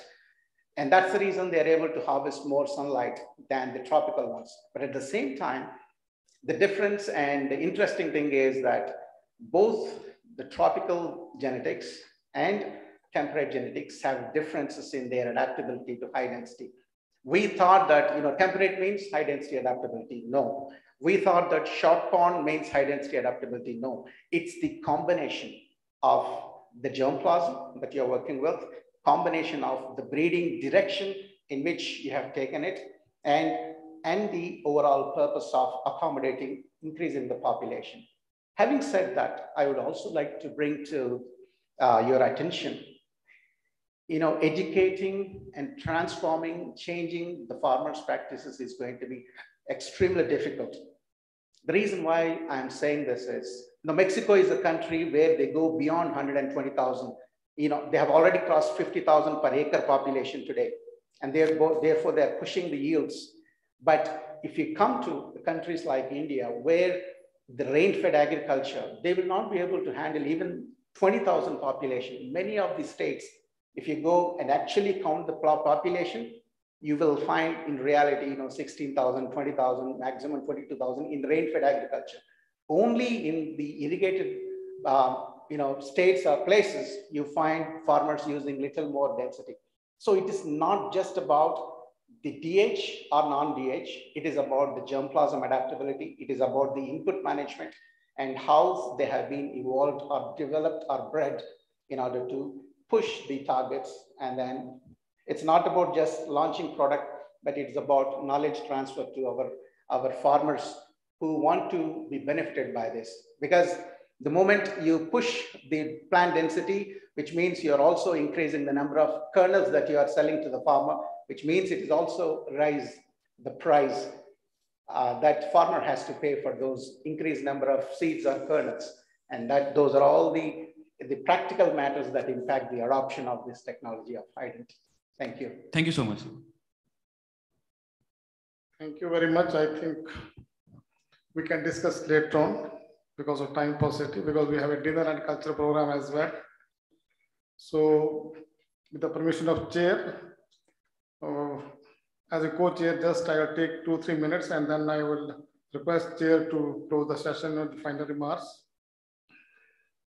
Uh, I will not uh, say anything because the people who have spoken today are the stalwarts and uh, people like Dr. V.K. Gupta ji and uh, Dr. B.D. Singh, probably scientists of my age who qualified ARS because of these two people. Because Allard ki book समझ mein नहीं आती We used to read Allard book, but Allard की बिल्कुल समझ में नहीं आती All of a sudden this this plant breeding book came and we qualified ARS. To be very frank. Had I had we read a learned book, we could have, at least I could not have qualified uh, uh, this ARS. Only only reason Dr. B.D. Singh's book we read for almost two months और पूरी रट ली थी हमने जहाँ से पूछ लो question और पूरे क्वेश्चन उसी में से आए मेरे एग्जामिनर ने वही खोल ली थी जो जिन्होंने पेपर बनाया था उन्होंने वही किताब खोल ली थी इट वाज सो क्वेश्चन भी सारे उसके आंसर भी सब कुछ था so it was so good and your बस we read that so really applaud to these people, those who made our life is so easy. Uh, because coming to this uh, uh, Dr. R.K. Singh's uh, language uh, issue, yeah, it is there. हम लोग वो sand bag से पढ़ के आए तो अंग्रेज़ी medium Hindi medium school typical गाँव से अब पीएचडी तक तो पहले अंग्रेज़ी बोलने पहले हिंदी में सोच, अंग्रेज़ी में सोचना, फिर उसको ट्रांसलेट करना, फिर बोलना, तब तक दुनिया कहाँ से कहाँ पहुँच जाती है। तो डिफ़िकल्ट है क्योंकि अंग्रेज़ी में बोलना पड़ता था, कुछ कल्चर ऐसा बढ़ गया कि अंग्रेज़ी में बोलना है। तो वो थोड़ा बड़ा मुश्किल था सेमिनार देते देते भी सांस फूलती थी कि क्या होगा। बोलने के लिए बारी है तो वी सेड वेरी वेल कि yes we can think in our own language, we can think, we can speak very well, we can work very well and take for example of china and all this उनकी किताब में पता था कुछ नहीं क्या लिखा है। Some you can find some words one two three that's it otherwise everything in Chinese whole science and where they stand so that is I think he made a very well explanation of this and very nicely explain the mental journey in a poetic language and I said doctor B Singh हमने भी नहीं पढ़े थे वो कुछ कुछ तो पढ़ा था, लेकिन सारे जो उसके क्रिटिसिज्म और ये सो को नहीं पढ़े थे। And probably this a very good slides Vinod for students somebody who is जो मेंडल पढ़ा रहे हैं, उनको ज़रूरी है पढ़ाना है बिकॉज़ आजकल जो सो कॉल्ड मॉडर्न साइंस में आ गए जीनोम एडिटिंग उसमें भूल गए मेंडल को। And you will be surprise when someday you don't expect you know question when I was appearing for the intro head of division and suddenly one very senior person from PAU मेरे को पूछा कि define Mendel's law अब मैं तो परेशान हो गया मैंने कहा यार मैं डायरेक्टर हेड के इंटरव्यू देना है मेंडल लॉ कहाँ याद रहे अब फर्स्ट क्वेश्चन पहला क्वेश्चन में क्वेश्चन डाल दिया राणा मैं define Mendel's law and I have to think for a while यार मैं डेफिनेशन रिकॉल करनी पड़ी सो that is how this basic science and basic question sometimes how they help and that fantastic collection Dr. B.D. Singh had made and presented and it can be a part of your curriculum. Uh, and that's Sahi explained how pre-Mendel people, how they did breeding and all this.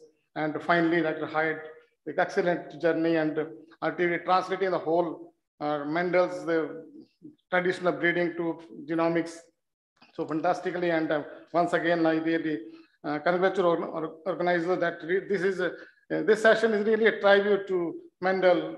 Probably first time I I have this kind of experience of having this kind of lectures inbuilt and a good time on that. Thank you very much. And may I invite now respectable chair to his final remarks and closing the session. Dr. Gupta ji, please.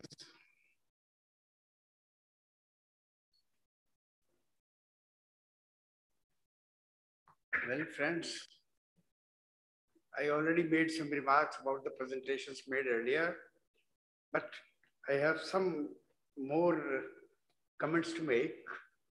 Dr. Ram Singh made a very good presentation, particularly because uh, we always talk about whether or not we can teach in Hindi.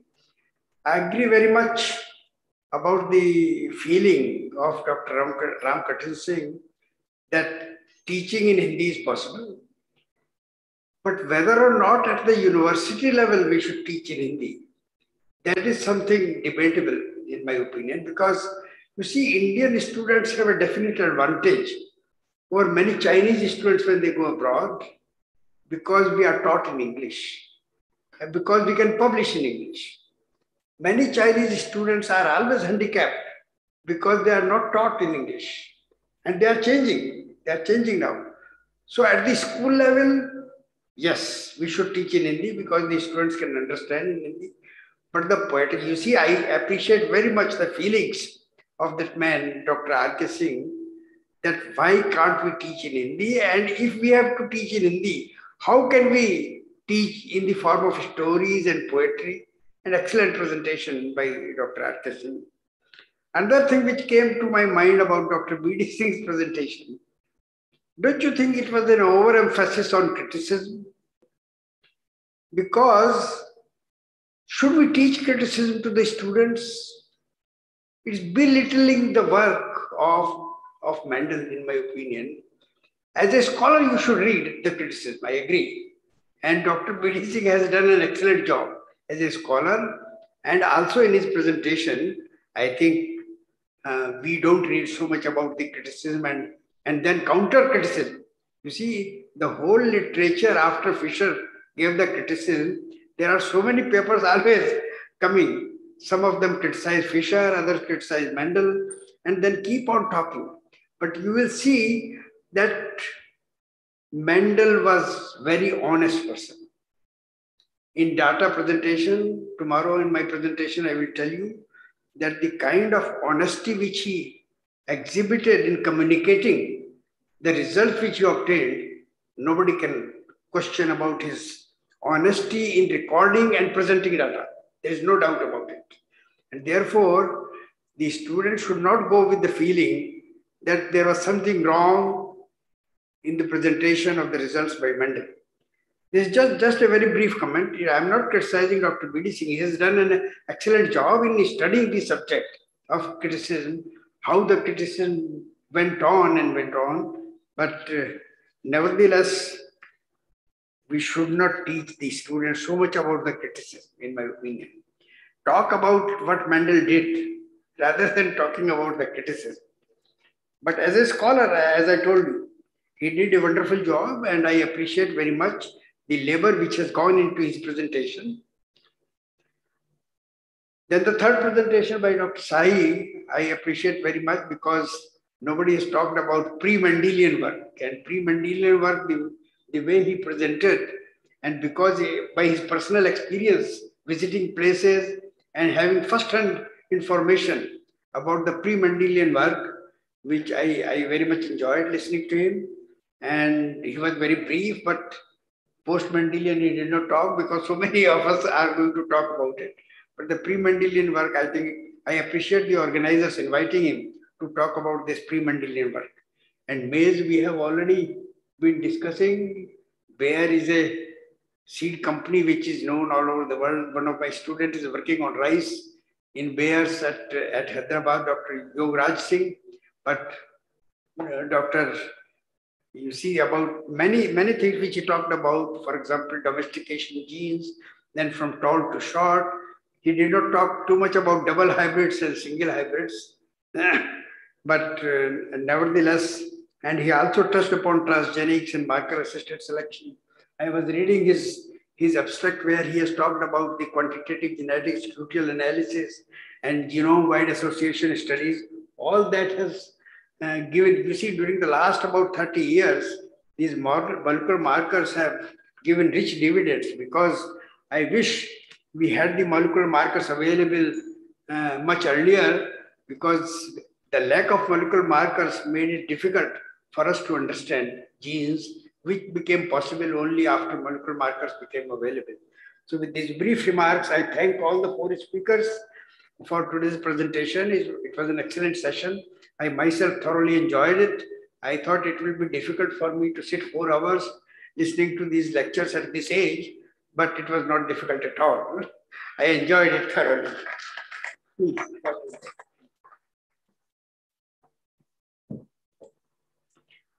I request our chairman to felicitate speaker of the session with a moment as a token of love.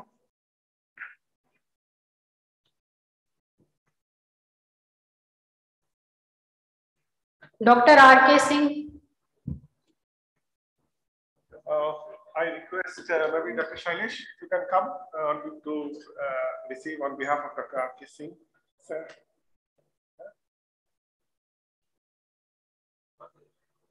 Yes, please. Okay. Dr. B.D. Singh. Oh, fine. B.D. Singh sir, will send. Dr. V.P. Sahi.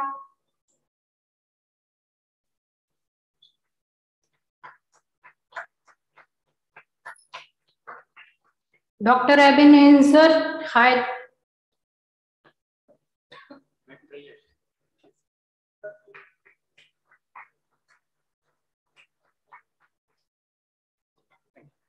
I would now request Dr. A.K. Singh to felicitate chairman and co-chairman with memento as a token of love.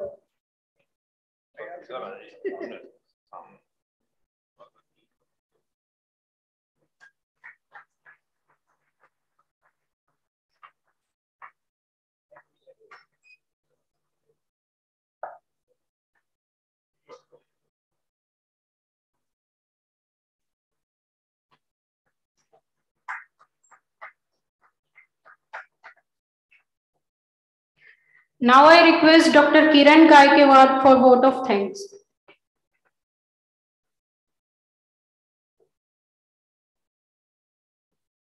Uh, esteemed scientists on the dais and off the dais, faculty members, and dear students, good evening to all. It's my privilege to have been asked to propose the vote of thanks for this session. Uh, big, big thank you uh, to the Honorable Chairman of this session, Dr. P.K. Gupta sir, for, for his encouraging and timely remarks and the gracious participation. He has long demonstrated his interest and commitment to advancing the science of genetics from last 60 years. Uh, his remarks shows the scope of his thinking. Thank you so much, sir. I must mention our deep sense of gratitude to Dr. J.C. Rana, sir, co-chairman of this session, for taking time out of his busy schedule and enlightening us with your thoughts. Thank you so much, sir. Further, we are grateful to Dr. R.K. Singh, sir, for accepting our request to deliver the lecture. The lecture in Hindi on Anuvanshiki Ke Sopan, which is a poetic uh, representation of the Mendel's work, was a, uh, really a treat to watch. Thank you so much, sir. I must mention our deep sense of appreciation to Dr. B.D. Singh, sir, who is an inspiration to almost all students of the genetics. Sir, thank you so much for your informative lecture and for helping us understand Gregor Mendel's scientific contribution as well as the scientific uh, uh, controversies or criticism in a very simple way. Thank you so much. I would like to express my sincere thanks to Dr. VP Sahi for accepting our invitation to the lecture and giving us the information regarding the pre-Mendelian history, as well as the scientists and major scientific discoveries that led to the genesis of genetics as a unified subject. Sir, thank you so much. I would also like to thank uh, Dr. Ebenezer Hyde from uh, Bayer Crop Science for showing us an update on the short stature corn breeding program of Bayer Crop Science and telling us how the science of genetics can shape the future. So thank you so much. Uh, we all are inspired by your great words. Mr. Chairman, ladies and gentlemen, once again, I want to state that we all are most grateful to all the speakers. We thank you for being with us this evening. It has been a great pleasure. Thank you so much. Now I would request uh, Dr. Harita uh, to inform the audience regarding the further program. Thank you so much.